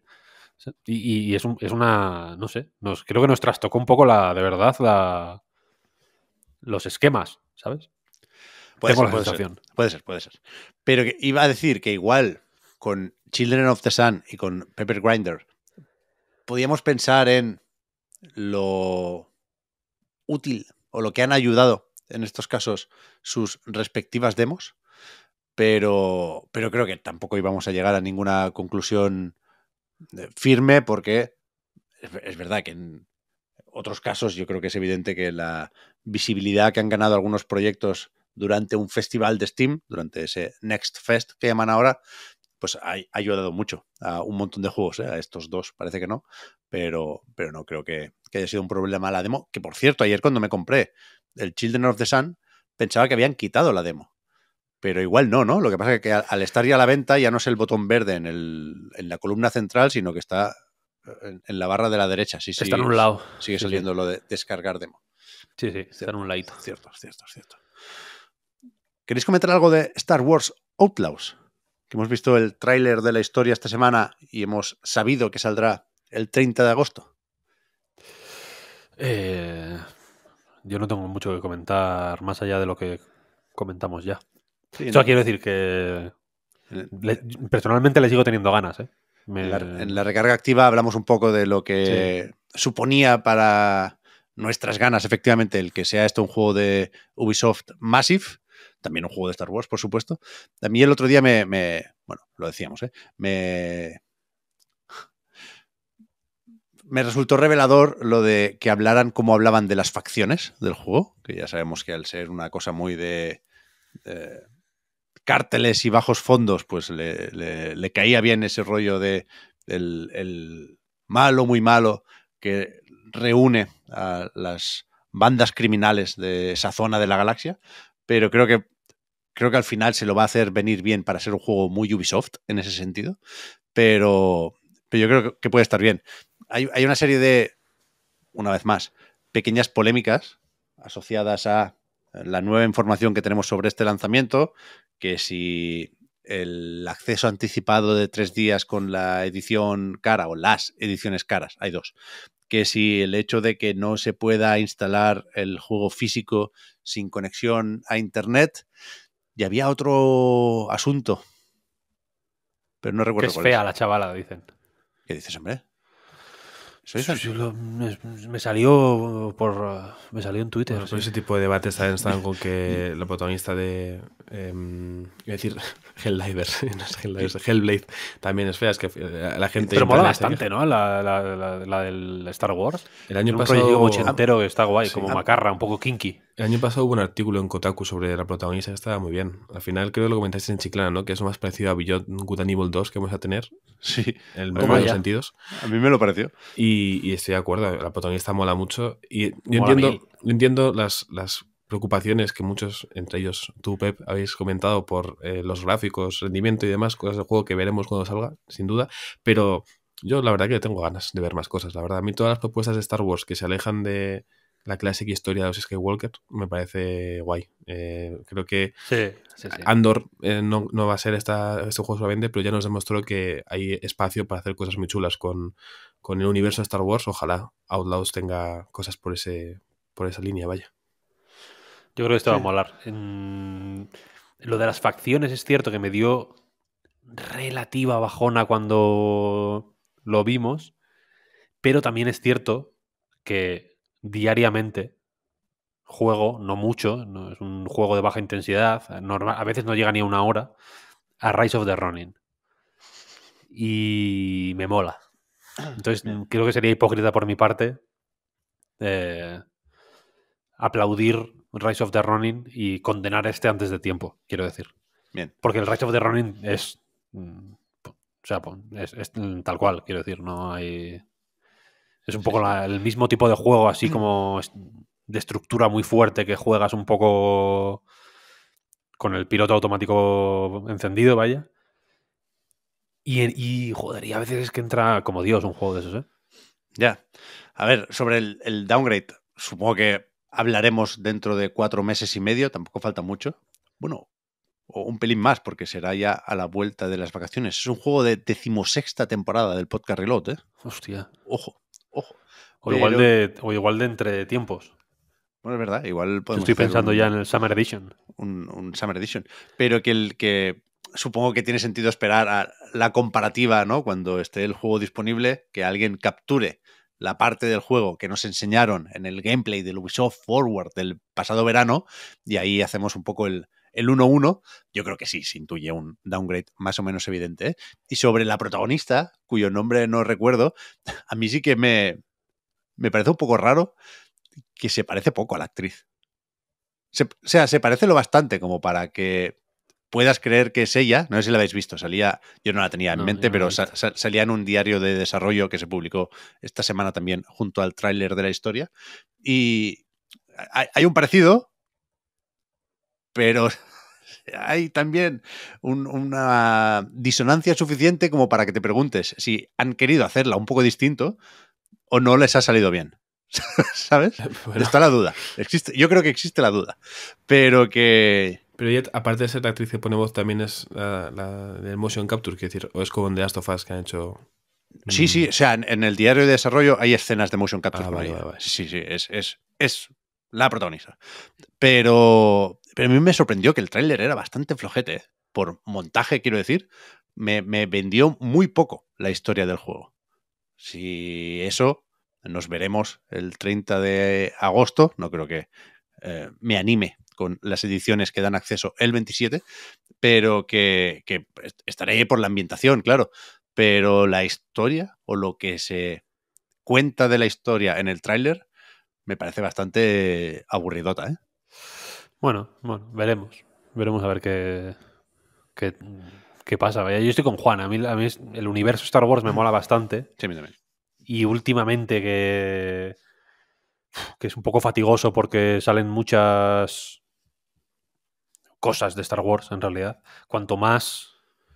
mm, cuanto menos alejado de los Jedis está, Eso iba a decir. más, más mola, en realidad, ¿no? El Mandalorian, por ejemplo, molaba mucho porque era como, bueno, es otra historia, ¿no? Igual de potente, igual de, no sé cómo decirlo, con una mística similar incluso, si, si quieres, pero era, es otra historia, ¿no? Y, y esta, y esta parece un poco más pegada a la tierra, dentro, bueno, con los pies en el suelo, dentro de lo que cabe para ser Star Wars y- y no sé, y mola, mola, la verdad. A mí, a mí me. Yo soy pro Star Wars, Outlaws. Yo estoy de acuerdo ¿eh? con eso y, me gusta la parte más siete samuráis de los Jedi, de Luke Skywalker y compañía. Pero quizás me apetece más ahora esa parte canallita que, representa sobre todo Han Solo, ¿no? Y que veremos si consigue representar también Kay Bess, he buscado el nombre de la protagonista del juego, y que no es la primera vez ¿eh? que se intenta eh, trasladar al videojuego. Recordemos lo poquito que sabemos sobre ese proyecto Ractac, creo que se llamaba, el que estaba haciendo Amy Hennig en Visceral, que Mm. por lo que se llegó a filtrar y comentar, parece que, que era un poco así. Un poco así. ¿Tú crees que si pongo aquí en edición la canción de I'm Han Solo de Star Wars Kinect, Buah. nos, Nos nos tumban todo. el vídeo de YouTube o algo así? Yo creo que, yo creo que hay alguien todavía en Xbox Game Studios que se dedica a borrar de internet la existencia de ese juego, sí. Yo creo, bueno, pero eso es un poco dominio público ya, ¿no? Es como, un- como, la, como las, Como, Mi- las como Mickey Mouse. Las canciones que se, que se cantaban en los pueblos, ¿no? Cantaban las ancianas en los pueblos, en los telares. Es un poco, no sé, nuestra, nuestra cultura, I'm la solo, cultura de nuestro tiempo. I am Ham Solo, solo. ¿Tú, tú llegaste a bailar eso, Víctor? ¿Estabas en Barcelona todavía cuando salió Star Wars Kinect? Sí, ¿no? Creo que se bailó, sí, sí. Yo creo que lo bailé en un evento incluso. Ojo, Puede, no, Ojo. no me acuerdo, no me acuerdo. yo sí lo Qué bailé, época, sí. ¿eh? Varias veces, varias veces Qué bailé. época. Qué Creo que, momento. creo que he dicho Ham Solo. Como, ¿no? Como un cerdo. Un cerdito, Sí, como, como, como- el cerdo. Como exactamente, exactamente, Con el chalequito. exactamente. Pero que hay ganas, hay ganas de Star Wars Outlaws, ¿eh? Yo también estoy, estoy en esas y creo que lo voy a jugar con el Ubisoft Plus este, chaval, no te lo pierdas. ¿Eres un suscriptor? Soy un ¿Suscriptor? Soy un suscriptor. Porque es que Total, no, no- no tengo mucha prisa por tener la edición física. y tampoco me eh, anima o me ayuda mucho lo del mensajito este de que sin el online no vale para nada el disco, pero, pero ¿qué es eso? Que siempre pienso que lo del Day One está solo en PC y no, en, Xbox también. O sea, es, es, una suscripción más o menos cara, creo que son 17 o 18 pavos de unido, ¿eh? pero que da acceso como mínimo en esas plataformas a los juegos de One. El, el Avatar, Frontiers of Pandora, se pudo jugar en Serie X de lanzamiento, si estaba suscrito. No sé si el de aquí al 30 de agosto les dará tiempo a. O, o, o, tienen la intención de meterlo en PlayStation 5 también, ¿eh? Pero, pero que siempre lo primero que pienso es, joder, qué pena que no tengo un ordenador lo bastante potente como para jugarlo con el Ubisoft Plus. Pero qué cojones, en la serie X me lo pongo sí, sí. más bien que mal. Buen, buen eh, aviso de servicio público. Me gusta, me gusta. Habrá que leer la letra pequeña y, y, aprovecho para decirlo para que no parezca esto una promo, ¿eh? Pero Ubisoft parece la típica que si cancelas la renovación automática, te quita el servicio en ese momento, en vez de cuando pasa el Uh, mes. sí. ¿Sabes? Sí, sí. no, sé, no sé si es el caso, pero, pero lo voy a tener en cuenta. Me voy a poner la alarma para cancelar la renovación eh, el 20. No, no me quiero pillar los dedos. El 25 más o menos de septiembre. Eso me pasó, no, no sé con qué fue cuando hacen eso, que, que cómo me jode. ¿eh? No sé si fue con los tres meses de Apple TV que regalaban con la Play o algo así. No sé. Que yo, a mí me encanta aprovechar estas cosas. Soy un dios de aprovechar esto. Lo primero, antes de suscribirme a nada, lo primero que hago es buscar en Google lo que sea, mm, Free trial. free trial o tres meses o, lo- o tres meses gratis o lo que sea, ¿no? Y hice lo de quería ver, ya ves tú lo que quería ver, Snoopy. Hay una serie de Snoopy en Apple TV ¿Sí que no? está bastante guay, por cierto. Pero como la película. Eh, es de dibujos, no es de 3D. Mm. Es de dibujos 2D. Parece muy. Parece clásica, pero es del 2023, creo, o 2022, vaya. ¿Vale? Es bastante nueva. Si tenéis Apple TV, echadle un ojo. Y. Y, lo- y busqué, o sea, no, creo que fue lo de la Play, ya digo, vaya.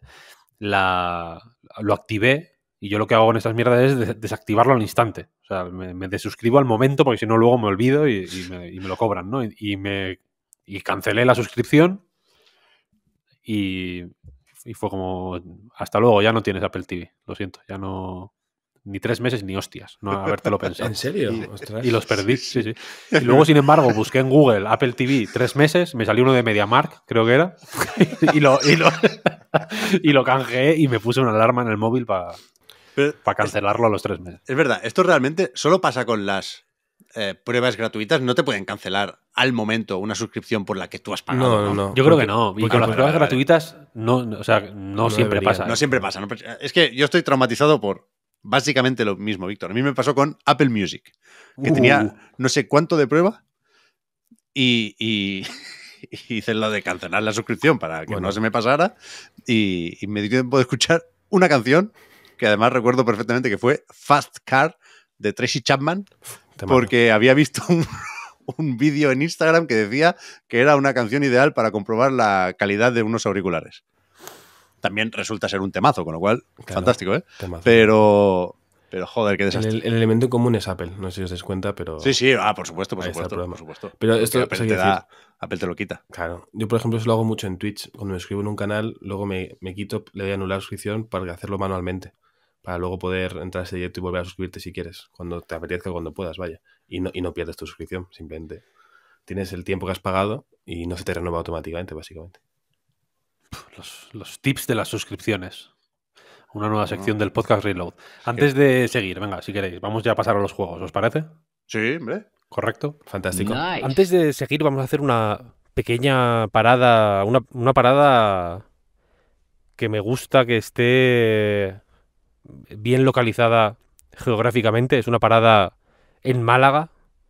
Es una parada mm, previa a la parada que haremos el mes que viene por allí, si Dios quiere, eh, de cuerpo presente. Pero antes de, antes de que eso ocurra, eh, queríamos invitar por aquí, estoy hablando evidentemente del Guadalindi, queríamos invitar aquí a parte de la organización del evento, pues para bueno, pues para hablar de cómo ha sido montarlo, de cómo está siendo la acogida, de qué expectativas tienen, etcétera, etcétera.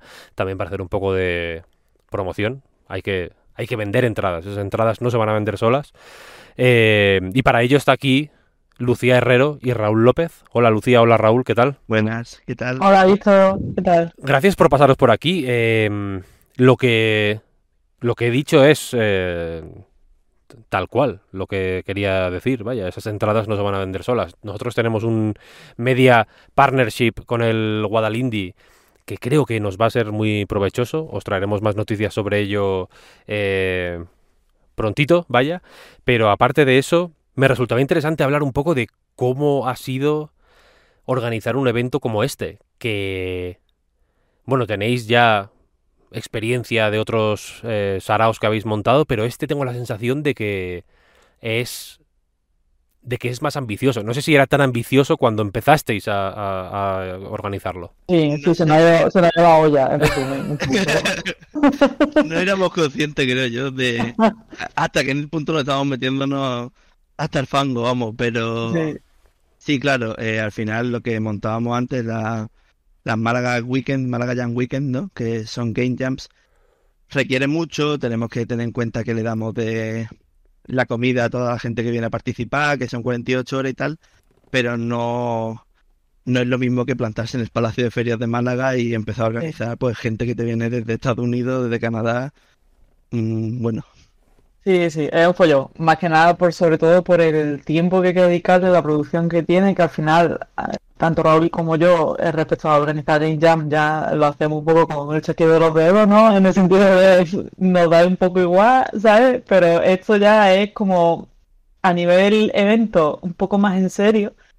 Eh, también entre que está Figma, el Palacio de Feria de Málaga de por medio, que como que tenemos que llevarlo todo de forma más profesional, ¿no? Y al final nosotros es eso, ¿no? Somos personas que dedicamos el tiempo libre que tenemos a, organizar game jams, encuentros en baretos para dar charlitas y alguna excursión que hemos hecho a, algún sitio con los, con, los compis de la asociación. Pero esto ya es como intentar dar un salto más profesional, por así decirlo, y, como comenta Raúl, meternos en todo el fango, vaya, o sea, eh, eh, nos hemos tirado de cabeza, literalmente. claro, esta vez tenéis, como bien decís, gente de mm, todos los lados, que viene de toda España, pero también del extranjero, están nuestra Marta, perdonad por decirlo así, pero está Marta, está eh, Marina Mores, eh, pero también está Nina Freeman, está Lige Alexander, está eh, Daniel, Daniel Benmergui, está Daniel Mullins, dos Danieles ahí. claro, em, es, mucho...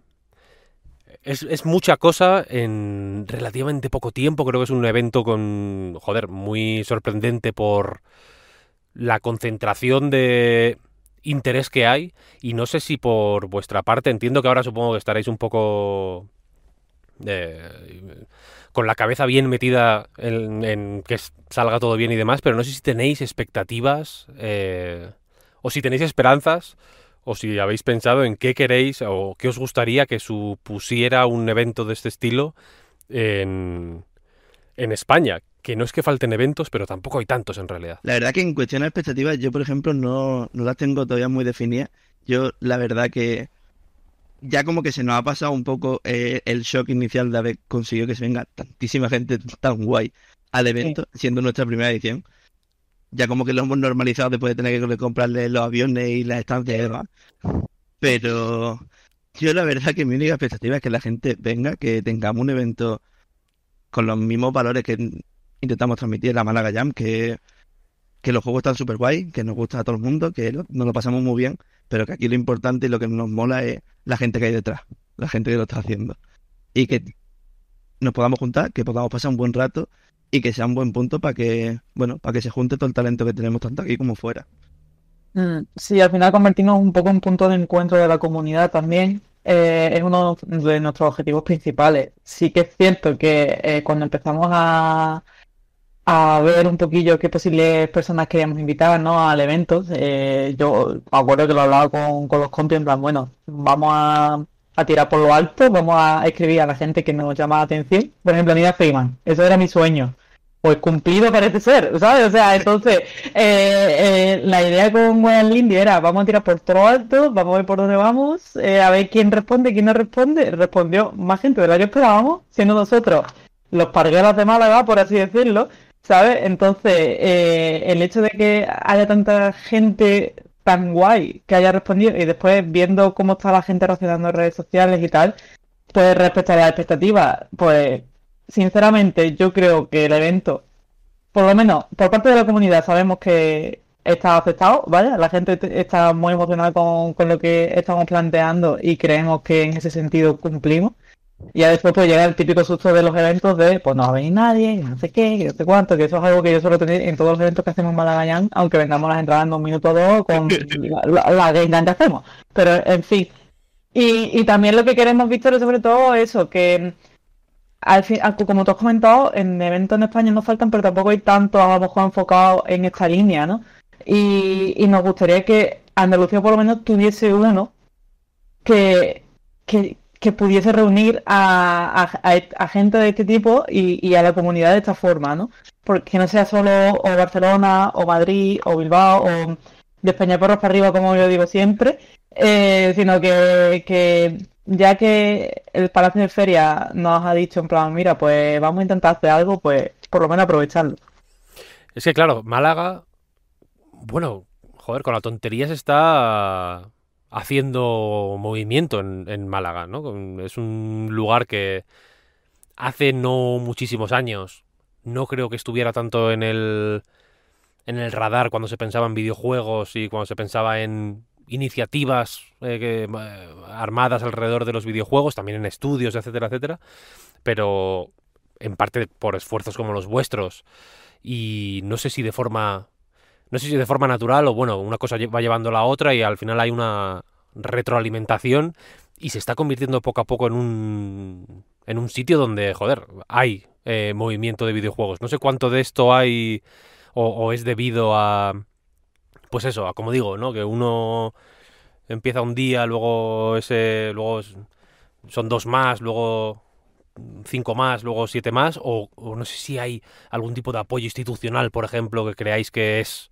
eh, interesante o, o, positivo, ¿no? A la hora de, de posibilitar eventos de este, de este estilo, iniciativas de este, de este tipo. Sí, básicamente, a ver, nosotros sin el, sin el apoyo del Ayuntamiento de Málaga mm, y el Polo Digital, que forman parte del Ayuntamiento de Málaga, no podríamos hacer ni las Game Jam Café, ni, ni, ni, ni el Guadalinti, pero sobre todo por dinero, no por otra cosa. Eh, Claro, eh, claro. sí, eh, ¿Sabes? Porque al final eh, a ellos lo que les interesa es en plan, buah, de repente los videojuegos no sé qué, no sé cuánto, pues vamos a intentar eh, con nosotros temas de comunidad y podemos tener el llamamiento de la gente y, y las ideas locas. Entonces, pues, como que nos dan un poquito de barra libre, entre comillas, para poder hacer un poco eh, lo que queramos. Y esto fue una idea de Raúl que tuvo el año pasado de quiero hacer un evento guapísimo, no sé qué, no sé cuánto, de traer gente estupenda y tal. Y, y aquí estamos, ¿sabes? Que dentro de unas semanillas está ya Daniel Mullin cruzando el charco para venir a, a Málaga con respeto, ¿sabes? ¿Qué quiero decir? Es que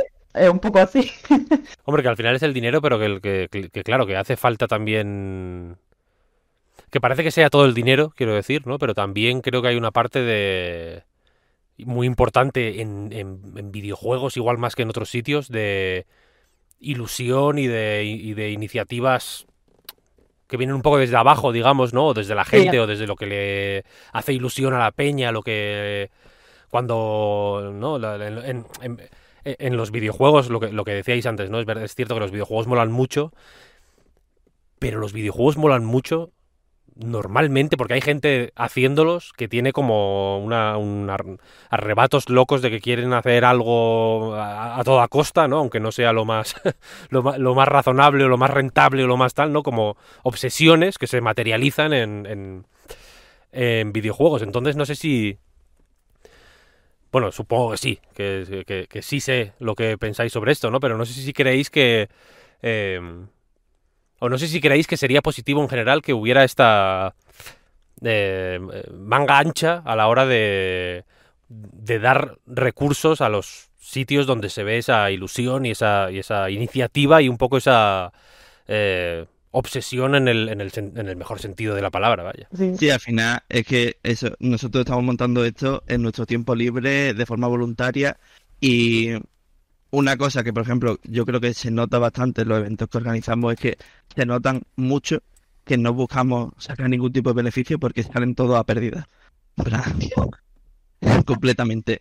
Y, pero está muy guay porque al final Málaga Jam surge de una forma local para intentar potenciar pues lo que tú has comentado, ¿no? Pues toda esa gente loca que tiene ideas que quiere llevar a cabo una Game Jams en su día era pues lo más guay que podíamos hacer porque era algo más gestionable y les dábamos un espacio donde les podíamos poner todas las comodidades que pudiésemos, estuviesen en nuestras manos, para que la creatividad, el ingenio y todo, ahí se pusiese a volar y hiciesen las cosas que les apeteciese. Y luego además, lo, de siempre, pasárselo bien, que es súper importante, que no hay que agobiarse y que dentro de lo que se pueda mm, vamos a intentar, ya que estamos por ejemplo en las jams 48 horas, vamos a intentar pasarlo lo mejor posible. Y eh, la cosa de conseguir ese espacio tan relajado y ese espacio tan tranquilo es que luego salen cosas súper chulas y que la gente mm, le da totalmente rienda suelta a la cabeza y salen cosas que a mí me vuela la cabeza en cada edición. Entonces, sí, yo creo que un pilar bastante importante. También tiene que haber comunidad y en nuestro caso tenemos comunidad y, se apunta a todos, lo cual ayuda. No, y, es lo que comentó también Víctor, en plan, al final nosotros teniendo la manga ancha que tenemos con las instituciones aquí un poco en Málaga, ¿no? obviamente con los límites lógicos que pueda dar una institución a que no, no, no, no confían ¿no? Eh, esta, esta ayuda a, crear este tipo de eventos, ¿no? Un poco para la gente que vive con tanta pasión el, el desarrollo de videojueguitos.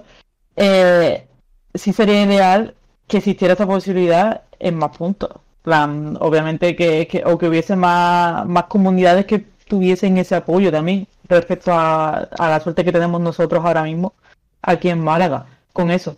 Pero también es cierto que todo esto ha venido después de un trabajo de muchos años. En plan, Málaga se fundó en 2015 y al principio mm, los mismos organizadores de los, e, de los eventos en su momento tenían que poner, bueno, nosotros hemos llegado también a poner dinero nuestro personal para que salgan adelante los, eventos que hemos gestionado. Pero en, en esa época era, era mm, cuatro locos que querían hacer eventos de videojuegos en Málaga y de repente el ayuntamiento era en plan, esta gente que está pidiendo aquí perras, ¿esto qué es? ¿Sabes? Y, y después poquito a poco, entre los intereses que tengan las instituciones y, y que se ha visto que la comunidad responde y que está presente y que sigue presente y que cada vez que lanzamos una cosa viene más gente y que responde más gente y tal, pues al final podemos hacer estas cosas. Pero sí sería súper guay e interesante que, que hubiese más manga en general respecto a esto. Precisamente tenía apuntada como un poco pregunta de cierre. Eh, ¿Qué pasos, primero, si, si, si veis factible que, eh, que, cosas similares al Guadalindi surjan en otros puntos de España? Yo también estoy de acuerdo en que hace falta un poco sacar eh, los videojuegos un poco de Madrid y Barcelona, que hay más, eh, hay, vida en, en, otros, en otros sitios, ¿vale? Desde luego, y que tenéis mucha experiencia, efectivamente. Málaga Jam no empezó siendo, eh, pues eso, un evento de la... Del, iba a decir de la talla, pero también de la, de la complejidad del Guadalindi. Y no sé si. No sé si os veis en, en posición de dar consejos a alguien en, yo qué sé, en Albacete o en, o en Murcia o en Almería, ¿no? O, en, o en Lugo que diga, hostia, me gustaría eh, intentar hacer algo, algo parecido. No sé, no sé qué primeros pasos son los óptimos en, en, en caso de querer, de querer hacer algo así. Mm. Yo creo que ahí encaja mucho el qué vas buscando con el evento. Porque es cierto que también lo que hemos dicho es que nos hemos lanzado un poco al fango y de cabeza porque como que hemos intentado abarcar bastantes cosas, no todas, pero ya bastantes cosas en un primer evento. Pero porque tenemos el tema de networking, que si vienen publishers, que si no sé cuántos, y tenemos gente que viene a dar charlas y tal, y luego tenemos toda la zona de stand, y luego pues las cositas que nos gusta hacer de hacer los eventos un poco más entretenidos que ya iremos anunciando. Pero mm, son muchas cosas. Entonces, si vas a empezar a hacer un evento ¿Te hacen falta todas? Eh, ¿Quieres que el evento sea realmente que vengan publisher y que sea un punto de contacto con empresa? ¿O quieres que sea, por ejemplo, un dev show de que la gente venga y enseñe su juego. O a lo mejor solo quiere hacer un evento de charla. Entonces, empezar con todo a la vez puede ser un poco saturante. Eh, nosotros siempre lo decimos, eh, en la asociación al final somos 20 personas ahora mismo, 20 personas que nos vamos repartiendo el trabajo como se puede y que con eso es mucho más fácil porque nos recaen todas las responsabilidades sobre ti, eh, hay mucha más gente avanzando el trabajo aparte de ti y entonces eso ayuda bastante. Si empiezas de una forma más chica, a lo mejor te cunde centrarte en otros aspectos y tirar por ahí. Sí, yo lo que recomiendo es intentar. La Jam, por ejemplo, cuando yo, yo incluso entré en la, en la organización y todo eso, fue porque empezaron a hacer charlas, empezaron a hacer talleres más o menos interesantes que tuviesen que ver con, con el desarrollo, ¿no? Y todo eso. Y al final, de esa forma, fue, se va generando un poco de comunidad. Entonces, al generar comunidad, vas viendo también qué, qué es lo que necesita tu comunidad de Lugo. Por ejemplo, porque a lo mejor a Lugo le interesa más eh, yo qué sé, hacer talleres de narrativa y aquí en Málaga prefe- preferimos talleres de cualquier cosa. Yo qué sé, por inventarme. Pero eh, ve, conociendo a tu comunidad, ve, ve viendo e intenta hacer algún encuentro de hablar de desarrollo de videojuegos, de lo que sea que te, que, que te pueda interesar y poquito a poco, si le puedes pedir a la Casa de la Juventud del Ayuntamiento un espacio y poquito a poco vas conociendo, es que es un poquillo... Yo lo que he dicho siempre es que tienes que tener mucha cara, eso un poco sinvergüenza para poder conseguir escalar de alguna forma u otra. Así como lo hemos conseguido con la Malagallan también, la verdad. Eso, eso que decirlo. Y aparte, obviamente, del respaldo de la comunidad que tenemos.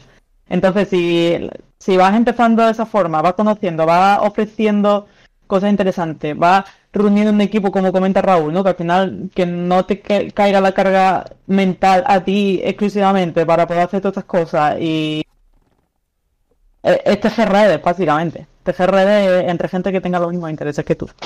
Quedémonos con esos consejos. Vamos a poder comprobar, eh, pues en fin, cómo vuestro recorrido ha, o, desemboca en, en este Guadalindi, vaya, que ya digo, a mí me, me, impresiona bastante lo que habéis organizado, la verdad. Dejadme que os lo, que os lo diga, es bastante eh, impresionante. El Guadalindi, por si os interesa, se celebra el 3 y 4 de mayo. Lo estoy estaba intentando buscarlo en internet, pero no tengo ahora mismo el navegador delante, así que lo voy a intentar decir de memoria. Si digo algo mal, corregidme, por favor. 3 y 4 de mayo, eh, Palacio de Ferias y Congresos de Málaga, FICMA, creo que es, es el, el nombre, el, el nickname de ese, de ese palacio. Exacto. Eh, las entradas ya están disponibles en la página web, que es guadalindi.com, ¿puede ser? Perfecto, ¿no? O sea, eh, Sí, has dicho todo correctísimo. no, habéis- no podéis tener un media partnership Mejor más, más partner, exacto. exacto. Las entradas están ya disponibles, las eh, generales son 3 euros y las profesionales 20. Son entradas profesionales porque en ese día pues se tratan temas más técnicos, eh, se centra mucho en networking y demás. Pero es que nos han preguntado ya mucha gente en plan, oye, yo no me dedico profesionalmente, pero me interesa mucho.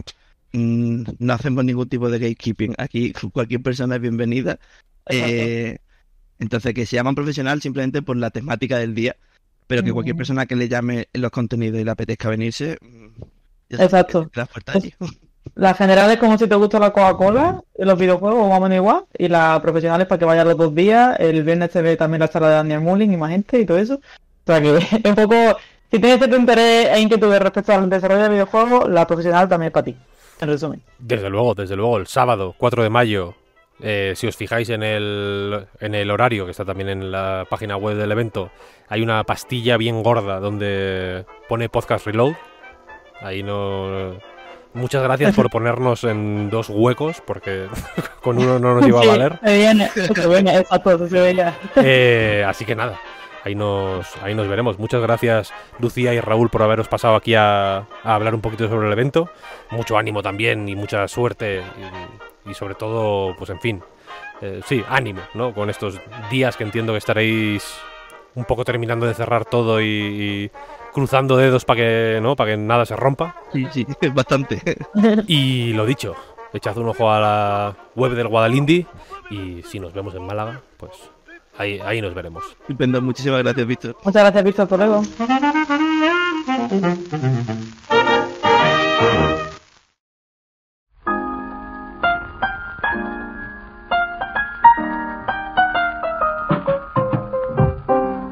Vamos ahora con la parte del podcast que dedicamos a comentar aquello a lo que hemos jugado estos últimos días, esta última semana.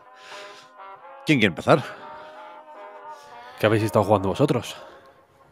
Yo puedo ser mm, el primero porque va a ser muy breve. O sea, por una serie de razones es posible que el 12 de mayo, no queda tanto, se celebre el primer aniversario de The Legend of Zelda Tears of the Kingdom y yo voy a volver a jugar. Quiero decir, es un juego que no terminé, pero no pasa nada porque es un juego infinito. Yo soy muy feliz por, por Hyrule y llevo unos cuantos días eh, continuando mi aventura. He terminado misiones secundarias que tenía un poco ya medias. La de, Bien. la de ser el, el mejor periodista del mundo, que es la mejor visión del juego, sí, sí, seguramente. Y la terminé otro día eh, encontrando nuevas túnicas y nuevos vestidos para Link, eh, salvando algún que otro aventurero que se ha perdido por el camino, disfrutando de lo que es el Tears the Kingdom Maya, que me parece un juego eh, catedralicio, fantástico, fabuloso, una, una maravilla. Pero no lo, no lo dejes a medias, ¿eh, Juan? No, no, no, no tengo O sea, no- intención, vaya. No tengas prisa por terminarlo tampoco, pero, pero no cometas el error, que creo que es moderadamente fácil de cometer, ¿eh? porque el backlog no para de crecer. Pero de pensar, bueno, hecho esto, ya estoy satisfecho porque he visto mucho del juego y antes de cansarme prefiero dejarlo aquí. No, no, antes de cansarte, Termina vete a por sí, la sí. misión principal, aunque dejes cuevas por eh, explorar, porque el, el final es muy bueno. Sí, o sea, muy, muy bueno. A mí me cambió bastante la manera de ver Tears of the Kingdom. Estoy de acuerdo y, y lo haré. Lo que pasa es que para recuperar un poco el, ¿no? las sensaciones y ser de nuevo capaz en combate, porque al principio estaba un poco perdido, estoy haciendo cosas sencillitas primero para eh, reacostumbrarme, pero tengo, tengo que hacerlo. O sea, ayer, por ejemplo, lo que hice fue eh, hacer feliz a un pobre hombrecillo que lo que quería era tener su colección de monstruos eh, exhibiéndolo en un pueblo para enseñarle a la gente que los monstruos no son tan malos. Entonces estuve haciendo fotos a monstruos para que tuviera ahí una colección fantástica de muñecos, muy, muy chulos además, muy realistas. Y, y Eso ahora no tiene ahí un... yo. ¿No has visto eso? Eso no lo he visto yo. Luego te cuento si quieres cómo se hace, es fantástico, vaya. Em, o sea, de hecho, me, es de las pocas cosas por las que me aventuré por el terrorífico subsuelo, más que nada por conseguir la cámara y hacerle a este señor feliz con sus muñequitos. Tiene un dragón, un- una especie de troll fantástico, unos lagartos, unos, cerdos estos, todo, todo. No me sé ni un nombre de una criatura de Zelda, ni lo voy a aprender, pero me encanta, me encanta. Buen Bokoblin. Yo he jugado al Dragon's Dogma 2. Eh, llevaba unos días, a ver, hace una semana que grabamos, claro. Creo que en ese momento no tenía muy claro si iba a ir o no a por el platino. El señor Itsuno me encaminó hacia el sí.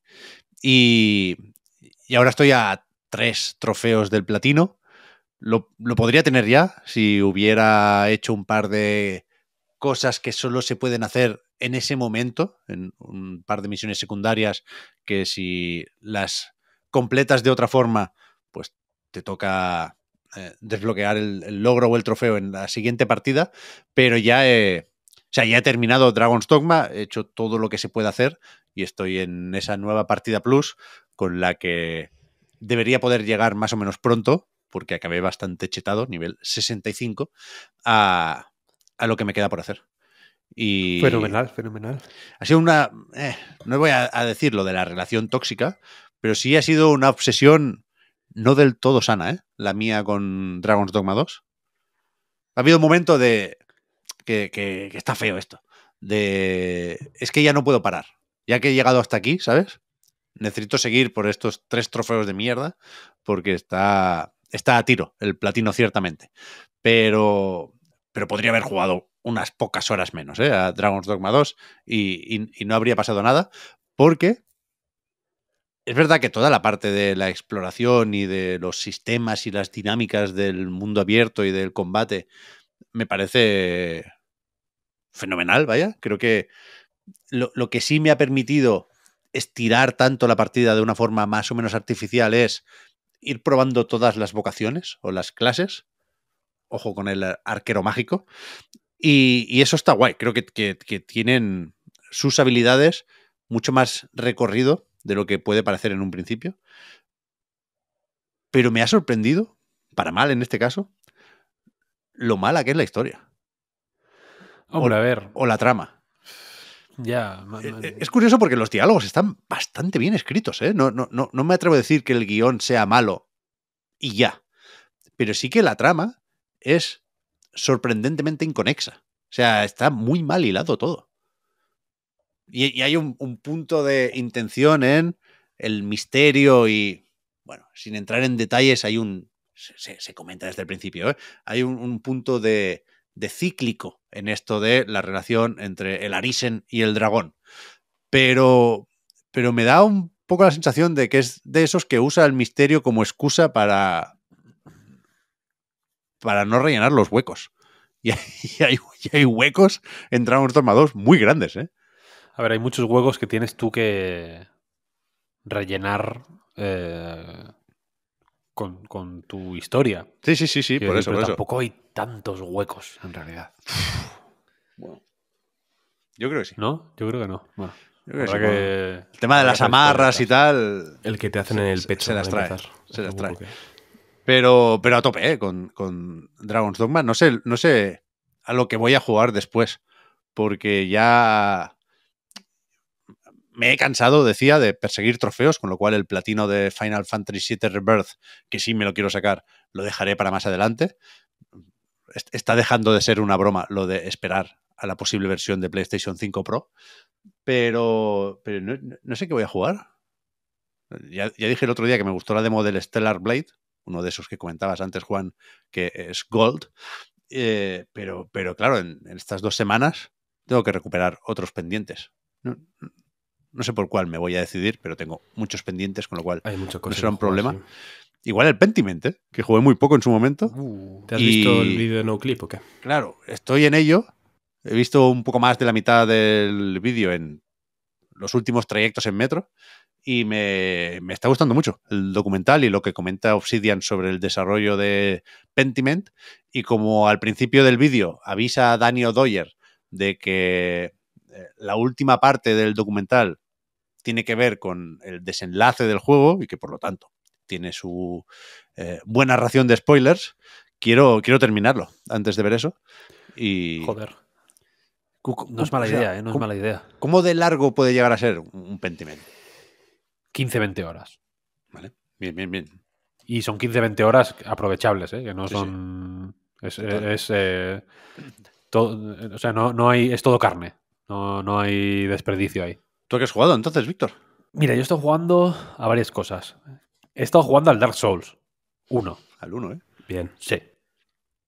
Porque vi un meme en Google del. En Google. O sea, en Google. Pues este meme en el buscador. En y Twitter. voy a tener suerte.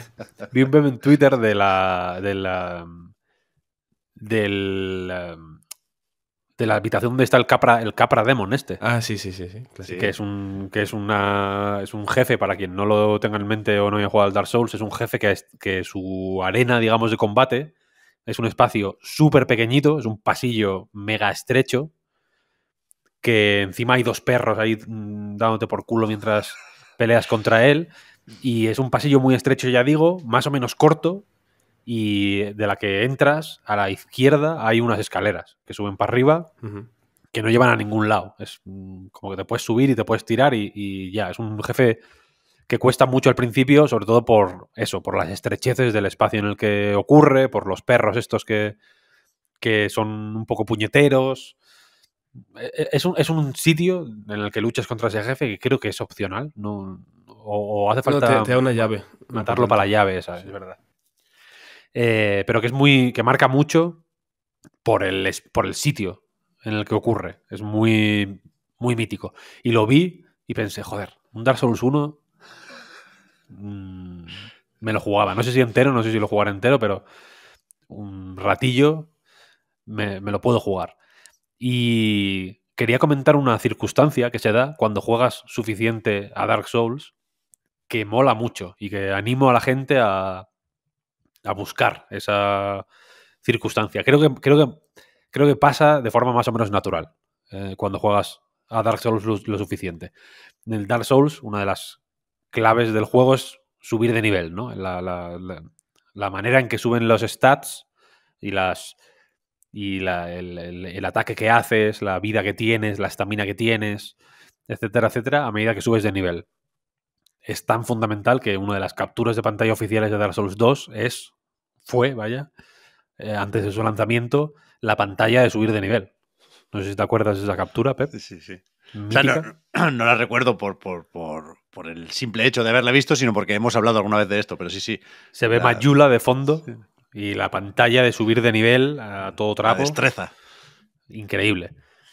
¿Qué pasa? Que al principio cuando juegas a, a los Souls, pues la tendencia es a subir de manera equilibrada, ¿no? En todas las, la- las, las, stats principales que te van a ir bien, ignorar algunas como, yo qué sé, las de los milagros y cosas así que, que te la bufan, y posiblemente subir mucho vida. La vitalidad es fundamental. ¿Qué pasa? Cuando juegas eh, suficientes veces, yo, yo, yo ya, no, no, o sea, no, no hace falta ni llevar arma- armadura en realidad. Es- Esa manera de jugar a los Souls rollo chuso, ¿sabes? Como sin armadura y eh, en nivel 1, no, no hace falta ir tan a saco, pero en realidad, cuando coges soltura, no tienes en realidad que subirte vida. Quiero decir, la, el- la cantidad de puntos de vitalidad que tienes que poner a tu personaje para que para aguantar una hostia más es muy grande. Quiero decir, no, no es en plan me subo un punto de vida y puedo aguantar 15 hostias más de los enemigos. No es así, en realidad puedes aguantar más o menos lo mismo hasta que no subes lo suficiente. Entonces, de forma natural, me di cuenta me di cuenta cuando me puse a consultar, yo no, no me acuerdo nunca de los caps que se dice, ¿no? En los Souls, la... cuando tú subes ciertas stats, llega un punto, aunque el, máximo de que puedes subir la vitalidad, por ejemplo, es 99, hay un momento en el que hay un soft cap, que se llama, que es que el retorno que te da ese stat por cada punto invertido es, mm, se, se reduce, vaya, hasta hacer que sea más o menos inútil meter más de X puntos a un stat concreto, ¿no? Me di cuenta de que me hizo un, me hizo un hechicero en el Dark Souls 1 esta vez, ¿no?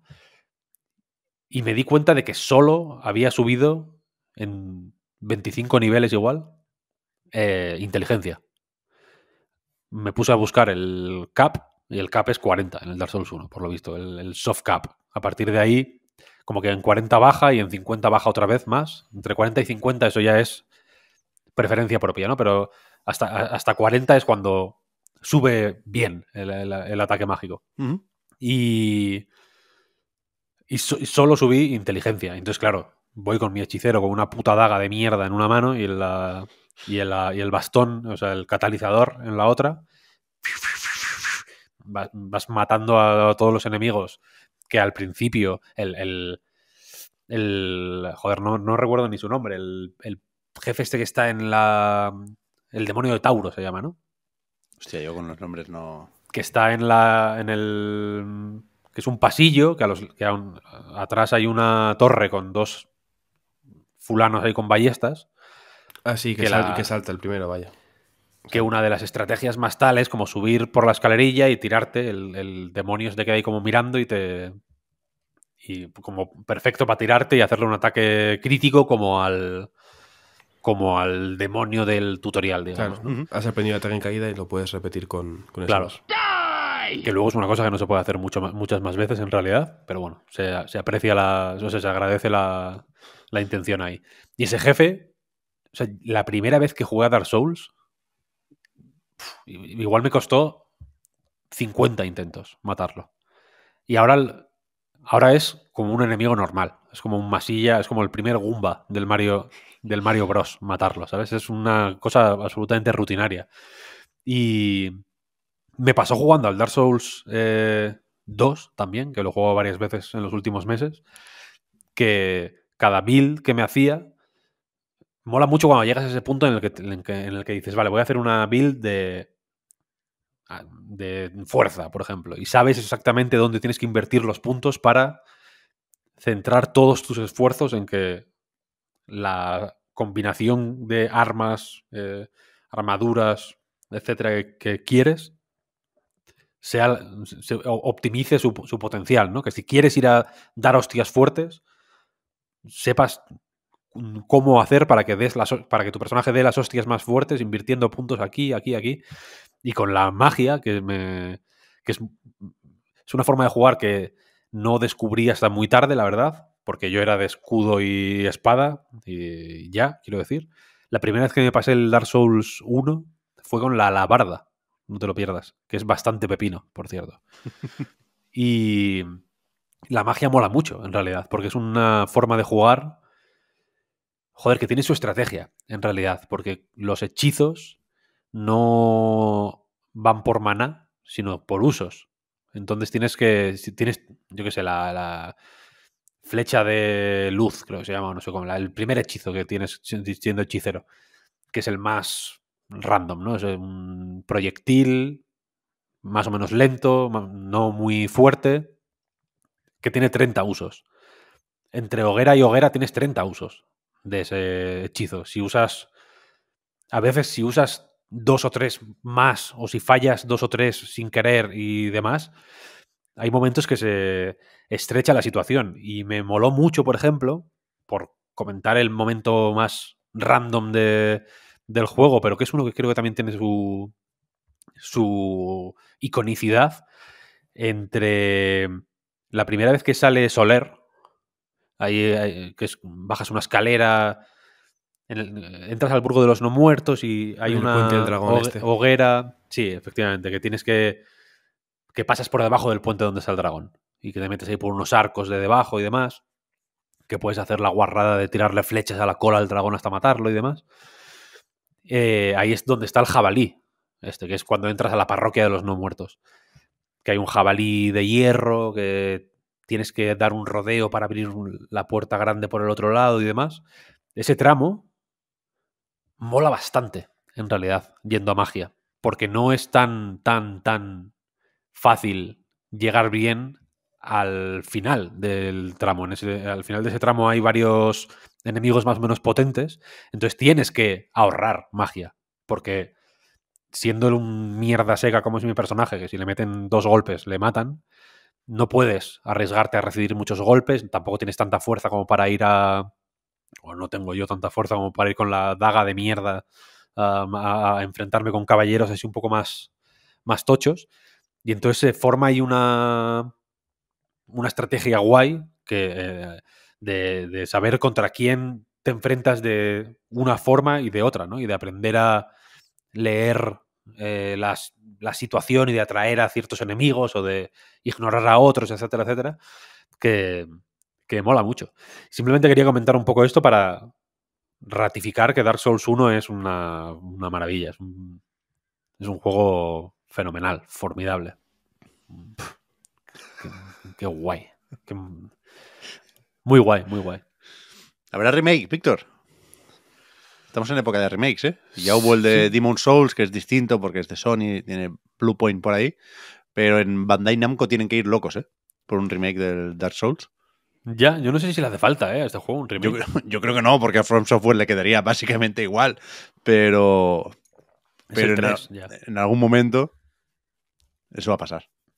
Ya, ya, ya, ya. No, pero muy guay, muy guay. Muy, muy fino el Dark Souls 1. Cool. Aparte de eso, he estado jugando a Erevan Shadow Legacy, ¿Vale? eh, el primer juego de Baby Robot Games, un estudio de Barcelona, y a Children of the Sun. Así que, si quieres, comento un par de cositas sobre Erevan y nos metemos con Children of the Sun. ¿Vale? Usted dirá, hablamos con Baby Robot la semana pasada, vaya. Sí, sí, sí, se pesaron por el podcast para hablar del juego. En ese momento todavía no lo había jugado tanto yo. Ahora ya lo jugué entero, vaya. Tenéis el análisis en la web también si lo queréis. Y. Y fíjate que me comentabas. Hemos comentado, vaya, varias veces. El, y se lo, se lo pregunté en la entrevista porque me resultó sorprendente, ¿no? ¿Qué es lo que tiene el sigilo para que se trabaje tanto? Y, y, caray, ¿cómo, hay, hay una casualidad un poco cósmica aquí, ¿no? En que de Barcelona salgan Aragami y también este juego, que se parecen tanto no solo por la... Supongo que por el sigilo, pero también tienen un arranque similar en lo estético, por ejemplo, ¿no? Sí, sí. Son dos juegos que, que se parecen bastante, pero No. luego jugándolo, A, a mí que me, que me perdonen, vaya, la buena gente de Baby Robot, eh, que el otro día. eh, cele- mira, justamente lo que decíamos sobre Children of the Sun. Celebraban el lanzamiento de, de Erevan porque es el final de un viaje de cinco años. O sea, han estado cinco años haciendo este juego, con lo cual no, no existe la posibilidad, que es lo que yo, con los malditos prejuicios, pensé en su momento, de, que- de que esto fuera una suerte de proyecto recuperado de, eh, de Lince Works, de alguna forma, ¿sabes? No, Sí, no, no, no, es simplemente no. una casualidad. Sí, sí, casualidad pura y dura.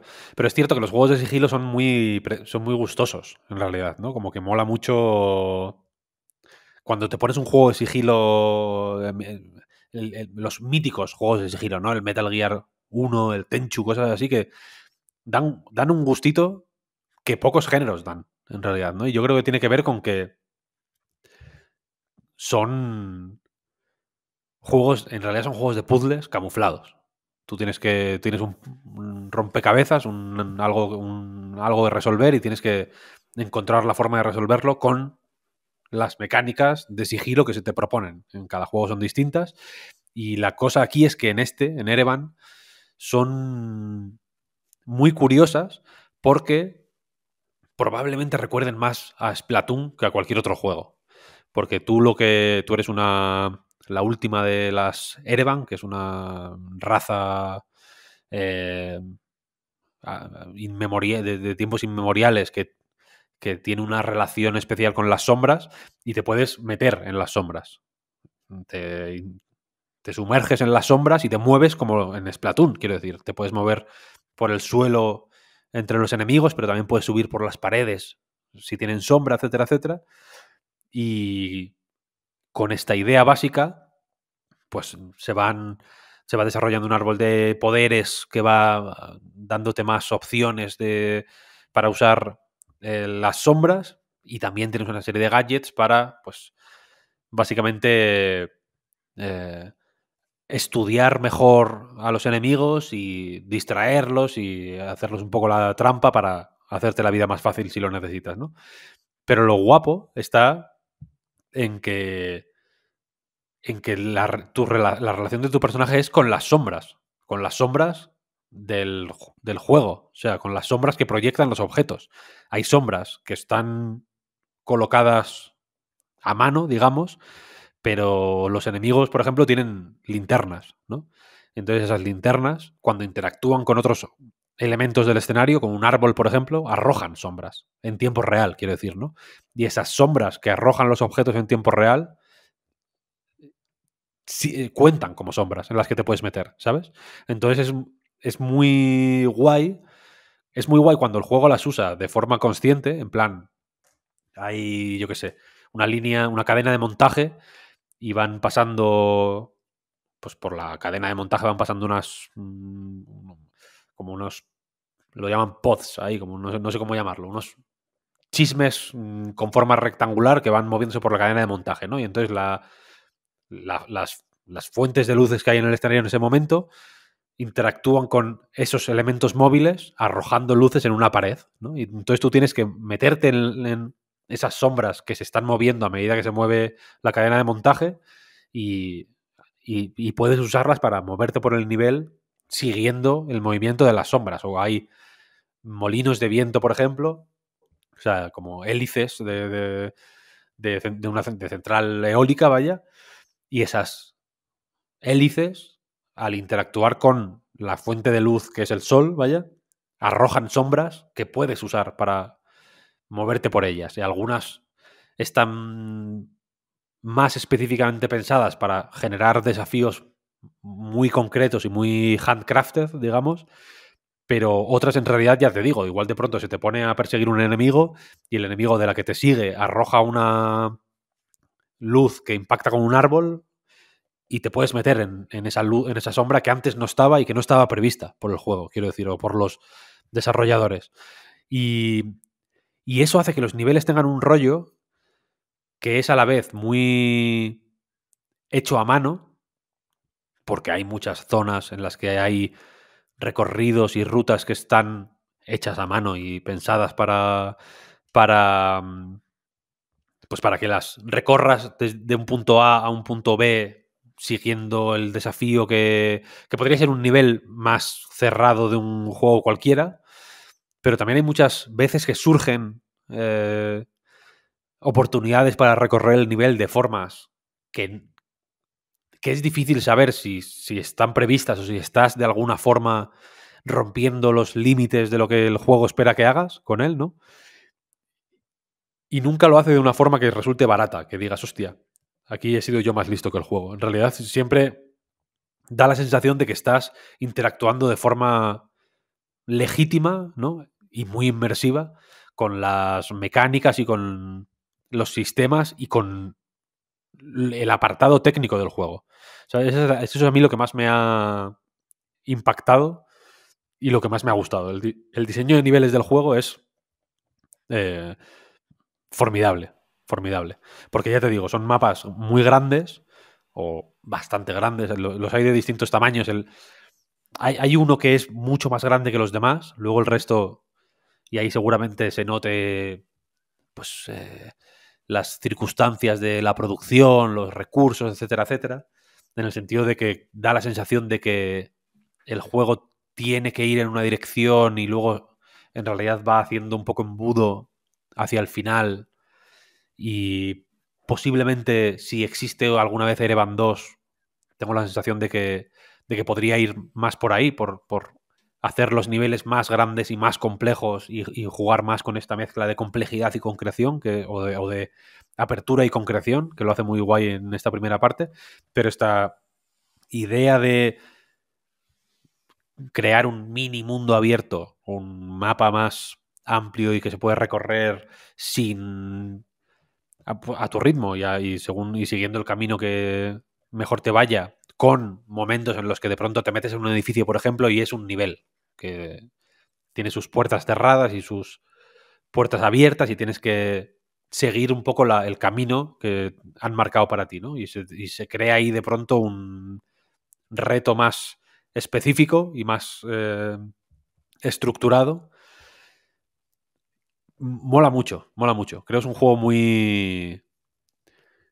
Creo que es un juego mucho más eh, inteligente de lo que quizá parece de primeras, ¿no? Si simplemente dices que es un juego de sigilo. Creo que puedes pensar que es una cosa un poco menos orgánica y menos avanzada. Es que lo, ya te digo, lo veo muy inteligente en ese sentido. Más, lo veo un poco, o sea, me puede recordar más a, a Dishonored que a Tenchu.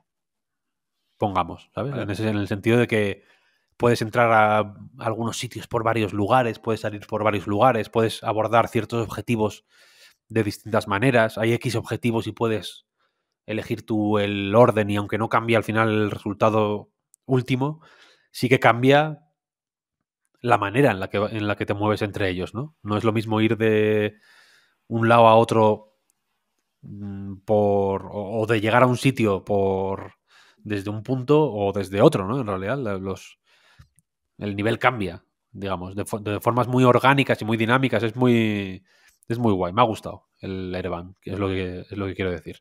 A ver si Bueno. a ver qué tal se a ver qué tal se, se recibe, vaya. Es un juego muy muy sobre todo muy gustoso, vaya. ¿Ha salido solo en PC, Víctor, o hay versiones de consolas? Ha salido solo en PC. Ha salido solo en PC. La- este iba a salir en Xbox también. Lo Hubo sé, jaleo ahí, lo iba a sacar Raw Fury. Sí, sí. Iba a salir en Game Pass, pero al final no. Algo pasó. No, no- no tengo más información so- sobre esto. Pero. Pero sí, en, en principio tengo. Creo, creo que la idea es ver si se puede ir sacando en más sitios. Pero de momento está en PC, efectivamente. Vale, vale. También está en PC solo. Y creo que este se puede quedar ahí. Sí, dudo que se o vaya sea, a otro no, lado. ¿eh? No, no porque lo deje aparcado, ¿eh? sino porque me parece un juego muy de PC en tanto que muy de ratón. Fíjate que no he dicho teclado y ratón, pues se juega solo con el ratón, se juega con una mano. Es el Children of the Sun, que decíamos antes.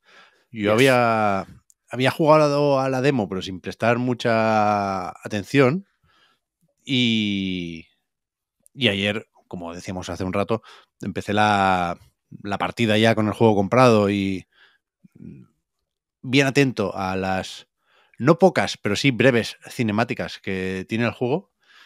Y es verdad que el cabrón es más oscurete de lo que yo pensaba, ¿eh? Que, o sea, por la estética queda claro que no es una fiesta, como decía el anuncio, ¿eh? Pero. Pero se, se recrea más en ese ambiente jodido y turbio de lo que yo imaginaba. Me parece bien, ¿eh? Me suelen gustar este tipo de puestas en escenas tan lúgubres y pesimistas. La cosa es que el juego va de una chica, por poner un poco de contexto a esta historia tan turbia, que emprende un viaje de venganza para matar a toda la gente que forma parte de una secta, que, es, los Children of the Sun estos, los hijos del sol, que poco a poco a medida que avanzas se te va contando qué relación tiene ella con la secta, con su líder, con de qué manera eh, pertenecer a esta secta afectó a su desarrollo, cómo pertenecer a esta secta afectó también a su al despertar de su poder, porque la gracia aquí está en que esta chica tiene que lleva una careta muy turbia también, pintada por ella y demás. Tiene un poder que es que puede no, eh, eh, esto eh, no, no, sé hasta qué punto es spoiler, pero bueno, tiene, un, tiene un poder que le permite, y, de, alrededor de eso gira la mecánica principal del juego, eh, mover, dirigir balas con la mente, básicamente. Voy a decirlo así. El juego te propone una serie de niveles en los que tienes que, tú tienes un rifle de francotirador, tienes que mm, te puedes mover un poquito por, el, por los alrededores del nivel para estudiar un poco el, dónde están los enemigos, cómo se mueven, qué hace cada uno, y luego tienes que disparar a... Perdón. Disparar a uno y eh, cuando la bala impacta en un enemigo, tienes un pequeño tiempo para redirigirla, ir a por el siguiente, a partir de ahí redirigirla, ir a por el, siguiente, etcétera, etcétera, y así, con un disparo, tienes que matar a todos los enemigos del nivel. Esto al principio es muy fácil porque hay tres enemigos y los niveles no son muy complejos, pero poco a poco hay más enemigos, hay más obstáculos que te impiden eh, o, que impiden que la trayectoria de la bala eh, sea tan directa. Eh, poco a poco hay enemigos que te piden eliminarlos de formas distintas. Hay unos, por ejemplo, que están blindados, que no sé si habrás llegado a verlos. No que tienes que... Ahí se, te introduce una mecánica. El juego tiene cuatro o cinco mecánicas y las va introduciendo poco a poco para hacer más complejo el diseño de los niveles. Y hay una, por ejemplo, que, que es que apretando el gatillo, yo he jugado en la Steam Deck, no, supongo que será dejando pulsado el botón izquierdo del ratón, vaya, la bala va ganando velocidad. Y entonces llega hay un, necesita unos metros, digamos, para alcanzar la velocidad máxima que puede. Y si no alcanza la, velocidad máxima, estos enemigos con blindaje no los matas. ¿Vale? Es, como que chocan, chocan la bala contra ellos y pierdes, vaya.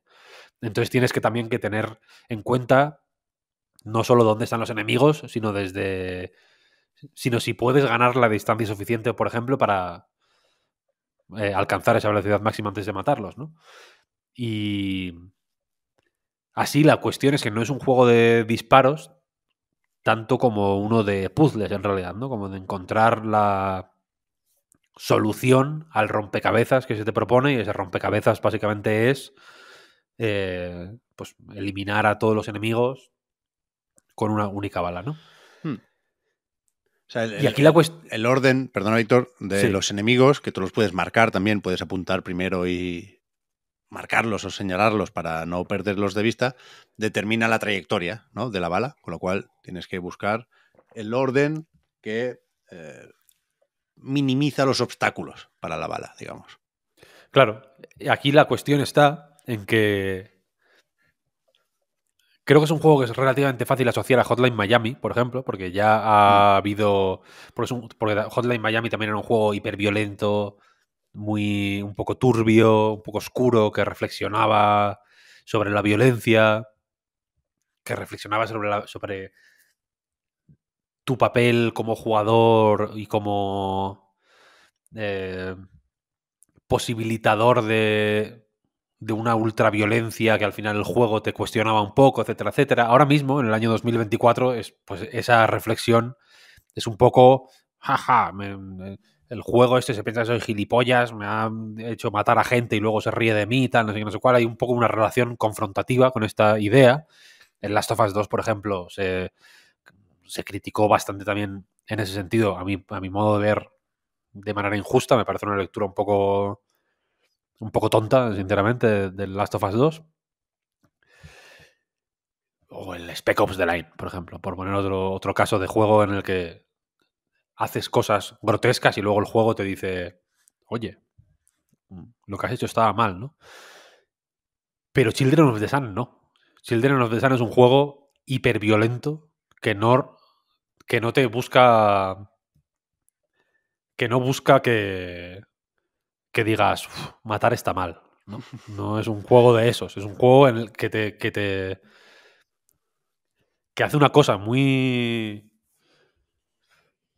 Joder, que, a- que a mí me ha impactado mucho. Lo he tenido que jugar en sesiones relativamente cortas. Porque, porque hay momentos puntuales en el juego. Cuando llegues a ellos, Pep, ya los verás. Creo que hay. Hay al menos dos que son muy jodidos. Uno de ellos seguro que no has llegado porque casi al final, pero hay otro que no sé, que no sé si lo habrás visto y que, y que en realidad eh, tienen un rollo de que molan porque son un poco Suda 51. El juego tiene un poco esa, esa forma de... o esa actitud un poco de Suda 51 de... un poco nihilista y un, y un poco de no moralizar tanto como como enfrentarte a cosas a, una, a una oscuridad o alimentar un tipo de oscuridad que igual mm, que te la presentan otros personajes pero que de alguna forma te lanza un guiño de tú eres igual o peor Mm. y y el juego ya digo que te te pone en una posición de empatizar con con, con la chica, con esta protagonista, de una forma que tú al principio piensas que es, vale, estoy en un, eh, voy a empatizar con ella porque voy a entender la, la- lo, lo que le han hecho pasar, ¿no? Y voy a entender el motivo de su venganza y al ejecutar esa venganza voy a sentir que estoy arreglando una situación, estoy desfaciendo un entuerto, estoy no arreglando algo está mal. Se cometió una injusticia y yo estoy impartiendo eh, justicia a través de la venganza, de alguna manera. Pero la cuestión es que no es así. Es un juego en el que no se imparte justicia. Cada muerte es un. que son unas muertes que se presentan de un. Es un juego con una estética muy específica, con mucho morado, con mucho azul, con mucho rojo. Los enemigos son como dorados. Hay mucha luz eh, fosforescente, hay, hay, hay mucho bloom en el fuego, en, en- en la- en el sol, en la luna. Eh, es un juego con una estética muy potente, pero las, pero las muertes, ninguna parece justificada, quiero decir. Ninguna, ninguna dices, eh, vale, he hecho justicia. Son todo muertes que poco a poco el juego te va metiendo en la cabeza de una persona que en realidad da la sensación de que está disfrutando de matar. Y de que quizá en algún momento, o quizá el, el chispazo inicial fue una venganza en busca de algún tipo de justicia, tampoco lo sabría decir, porque el juego es relativamente... eh, no, no- no es muy directo en la forma en que te cuenta las cosas, te va mostrando escenas de pues de, de la de la- del- pasado de la chica, vaya, pero no no te cuenta una historia de forma muy lineal o muy, muy clara, vaya. No, no, no hay diálogos, ¿no? Siquiera, Víctor, a mí no, No me diálogos. ha hablado nadie. Vale. No hay diálogos, no hay apenas texto, no hay prácticamente nada. Hay texto en algún momento muy puntual, pero ya digo, no hay una historia eh, que- se exponga de forma muy clara. A veces, de hecho, cuando, cuando parece que está más o menos claro lo que se te está contando, tengo la sensación de que el juego, dos, tres pantallas después, te presenta otra cosa que te trastoca un poco los esquemas, vaya. Y, y ya digo, al final te mete en una, en una forma, en un mindset de disfrutar de esa violencia con un rollo aparte eh, psicosexual bastante jodido que acaba siendo muy desagradable. Muy desagradable. Cuando te das cuenta, quiero decir, eh, el- el- el- hay un momento en el que piensas, joder, los leaderboards, por ejemplo, ¿no? Los leaderboards, hay una serie de... eh, en, en- en el juego hay una serie de mecanismos para mejorar la puntuación que consigues. Si, va- si vas, si vas mm, matando a los enemigos a buen ritmo, hay un multiplicador que va subiendo. Si les das en la cabeza, eh, te dan más puntos que si les das en el pecho, por ejemplo. Si les das desde la, la distancia a las que les disparas también, suma para la puntuación. Hay elementos en el mapa que no son estrictamente los enemigos, pero que te pueden servir para conseguir más puntuación. Ahí, por ejemplo, puedes disparar a los pájaros, puedes disparar a los depósitos de gasolina de los coches, algunos bidones, cosas así, para complejizar un poco la, la- la trayectoria de la bala y, yo qué sé, conseguir eso, ma- distancias mayores o combos más tochos o tal. Y participar en esos leaderboards acaba siendo, acaba representando, tengo yo la sensación, ese, ese placer enfermizo que encuentra esta chica en, en, en matar por matar, en, en explotar su, su poder mágico, ¿no? De mover las balas con la mente.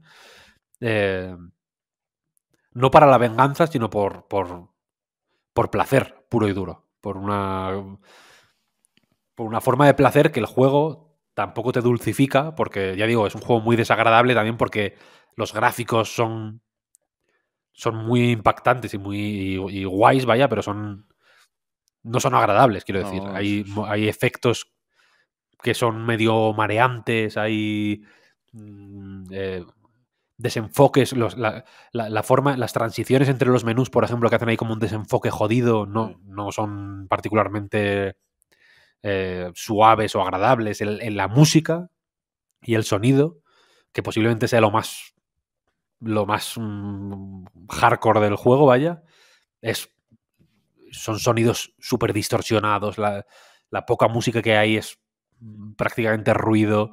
Es un juego que, que, joder, que es, ya digo, muy... que creo que intenta desagradar, simplemente, vaya. Y lo, y lo consigue, y, lo, y, a mí me ha encantado, ¿eh? O sea, me, me ha gustado, ha sido una... Me ha, me ha puesto...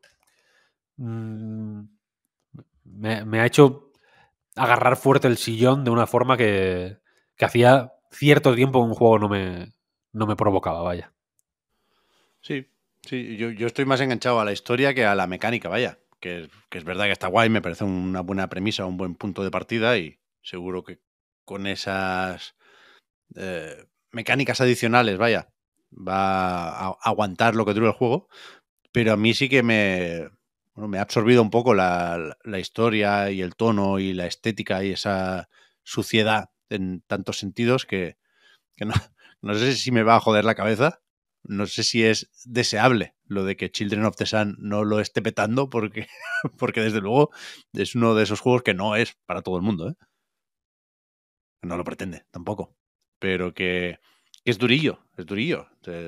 Tienes que saber a, a lo que vienes y tienes que estar preparado para pasar un mal rato hasta cierto punto en ese sentido. ¿eh? Es verdad que supongo que está muy deshumanizado el concepto de la secta y, y que a mí me gusta también la idea de presentarlos como bueno, un, un- un tipo de enemigo universal, ¿no? Como el zombie. Y, pero, pero es verdad que, que hay un, un placer, sino por parte del jugador, por parte de la protagonista, en eso de, de matar, vaya. Lo de, lo de los leaderboards, Víctor, yo no lo, no lo pillo especialmente. O sea, no me parece un reto estimulante porque no, no sé, al- alguna misión sí que la, he repetido varias veces y no sé muy bien cómo hacer subir eh, la puntuación. He, visto lo del multiplicador, entiendo lo de la distancia recorrida por la bala, pero no sé por qué me resta puntos, por ejemplo, por, por la munición, algo, algo así dice, si solo gasto una bala, sí o sí, ¿no? Pero, pero me gusta que tiene como, un- es una chorrada, ¿eh? Pero creo que no todas las pantallas, pero sí casi todas, tienen como un reto asociado, como una pequeña sí. descripción barra pista Da logros, además. que sí, exacto, que es lo que da logros en Steam, que, que está bien. En plan de que, mira, pues la bala, si pasa por una fogata y se eh, calienta un poco antes de llegar a su objetivo, pues te vamos a dar aquí un, un logro. Y, y está guay eso también, vaya. Es un juego bien pensado en ese sentido, bastante cerrado y, redondito, vaya. Sí, joder, y el sistema.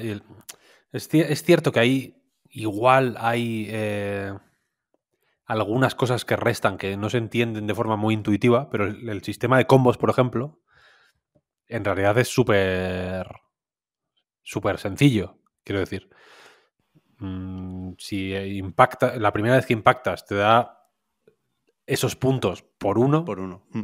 la segunda vez esos puntos por dos, la tercera esos puntos por tres, y entonces cada vez es más, más, más, más, más, más, ¿no? Mm. Entonces la, la forma de subir leaderboards es encontrar la, la ruta que te, que, que te sea más óptima, o sea, o que te, o que te ayude a encontrar, a, a golpear a, todo el- a, a todos los enemigos eh, sin perder el combo, que a veces es eh, ir a los que están más cerca, pero si apuras un poquito y vas a los que están un poquito más lejos, yo encontré alguna ruta bastante guay. Al, eh, al final para... no, en uno estuve en el 20 y pico. Oh, hostia, joder, muy bien. Tam- tampoco es lo más arriba que estaba, quiero decir. No...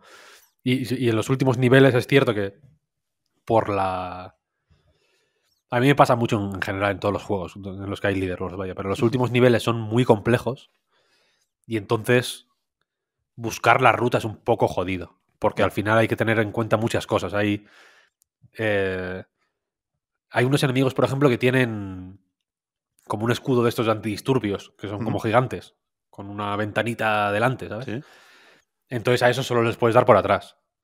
Eh, hay unos enemigos que tienen como un aura mágica que, que te desvían la bala. Yo no sé si has llegado incluso a, a cuando les brillan extremidades a los enemigos, ¿has llegado? Sí. Que, que si das... Hay, hay enemigos que tienen puntos débiles, digamos, ¿no? Si les das...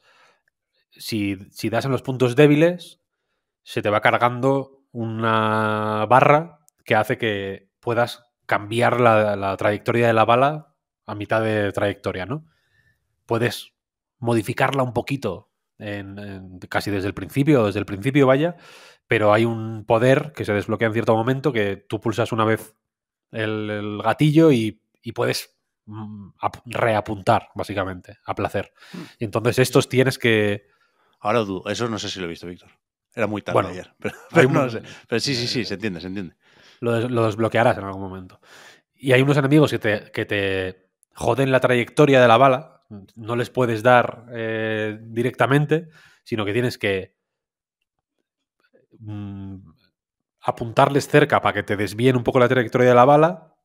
En ese momento pierden el poder durante unos segundos y tienes que aprovechar esos segundos que tienen sin poder para darles. Si les dejas el suficiente tiempo, vuelven a, cargar el poder y tienes que hacerlo otra vez.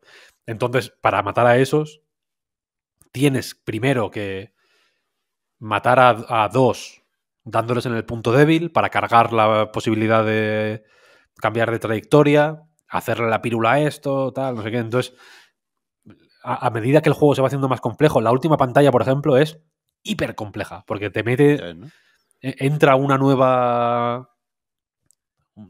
tamp- Tampoco es una mecánica, pero entra. Te meten, una te meten dos requisitos en ese nivel que no, que no habían estado en ninguno hasta ese momento.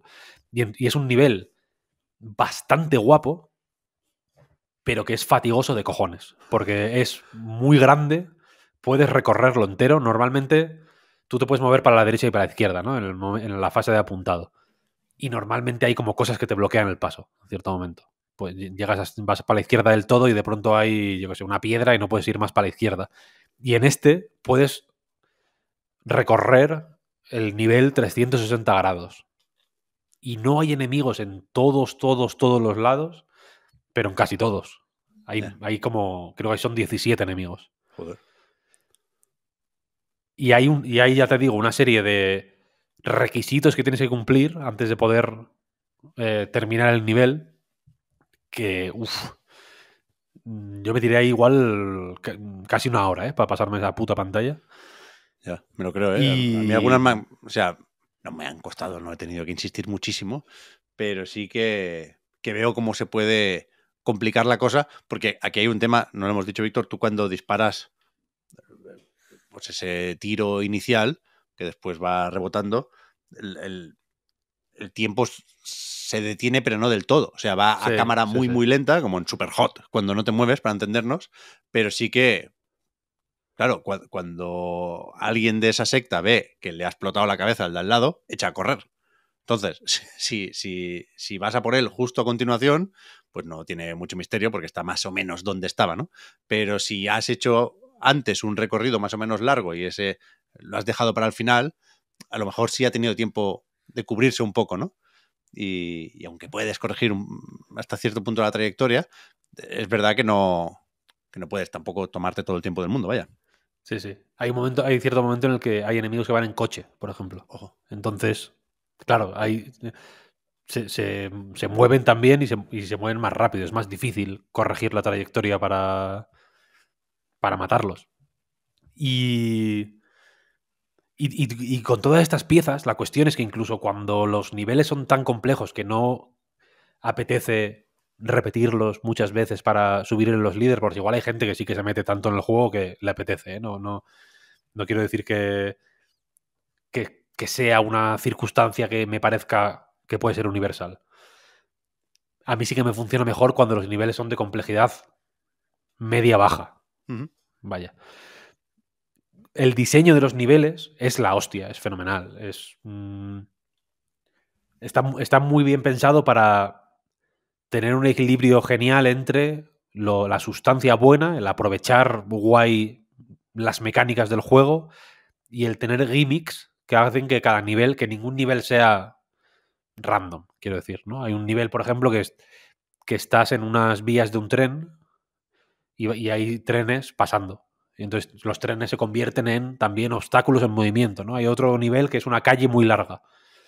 Entonces tienes que. Y, en la calle hay tiendas, hay edificios y tal, y hay enemigos dentro. Entonces tienes que, que sal- que entrar en los edificios a matar a los enemigos, apañártelas para salir de los edificios y matar a otros enemigos que, que estén fuera, y tienes que ir como moviéndote por el.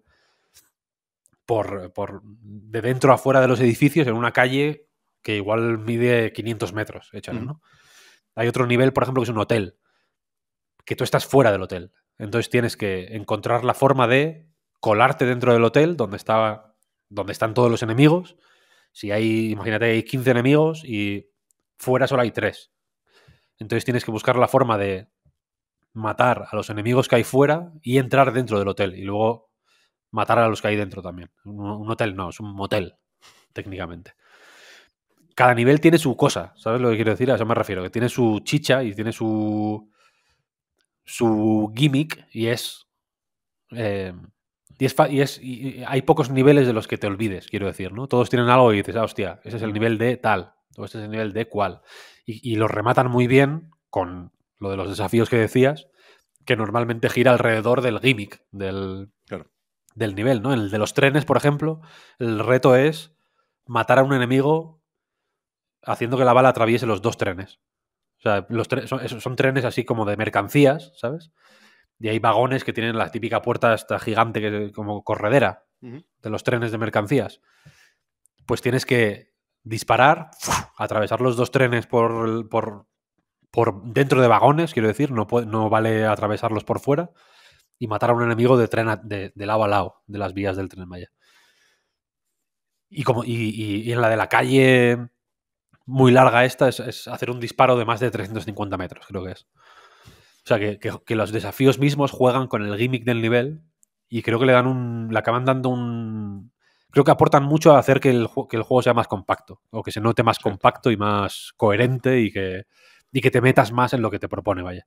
A mí me ha parecido un juego, ya te digo, eh, fenomenal, formidable. Porque es cierto que es muy oscuro y es muy jodido y habrá quien te diga, "Buah, es que yo para jugar mierdas así, edgy, mm, porque sí, paso.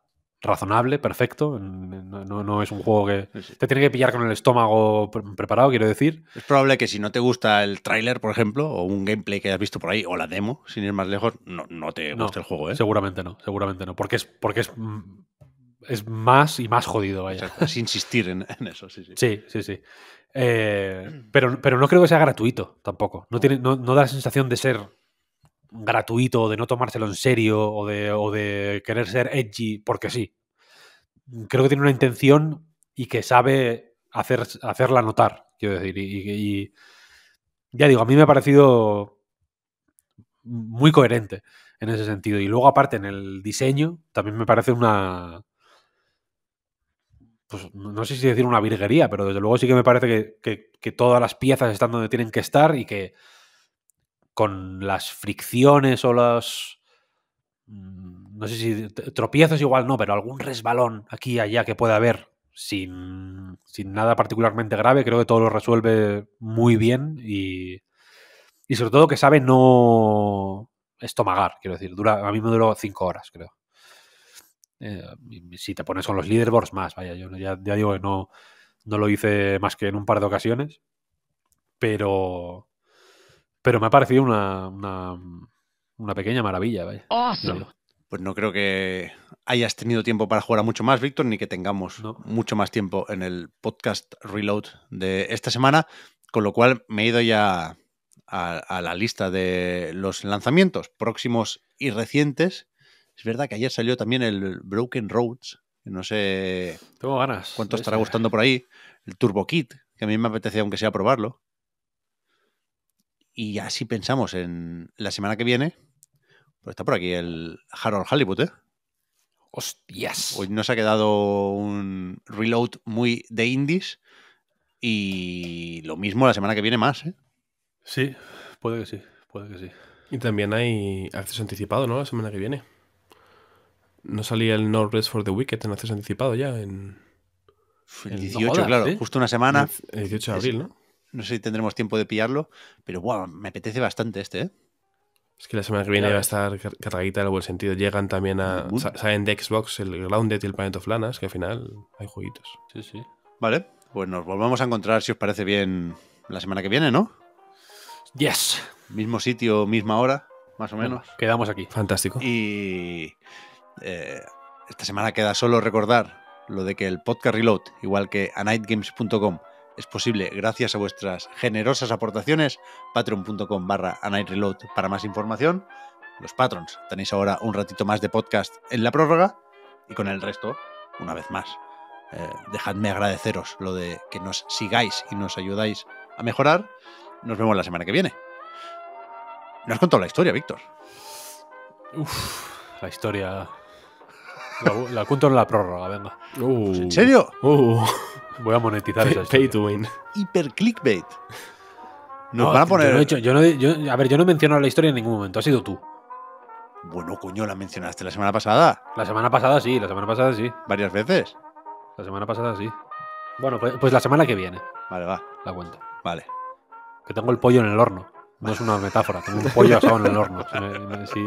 Si, no, lo, si no lo miro, puede que la, puede que la líe. Vale, vale. Me parece bien lo de la semana que viene, que además ya hubo historia. Y bastante buena también, ¿eh? Yo tengo mis dudas de que sea mejor la otra. En, en la prórroga de la semana pasada, la Esa de es buena, Panda ¿eh? estuvo muy bien, ¿eh? Sí, sí, sí, esa es cute. Pero eso, retomo entonces lo de los agradecimientos. Faltaban las gracias para Lucía, para Raúl, para Juan y para Víctor. Hasta la próxima. Gracias a ti, Pep. Hasta, luego. Chao, chao. Adiós. Great.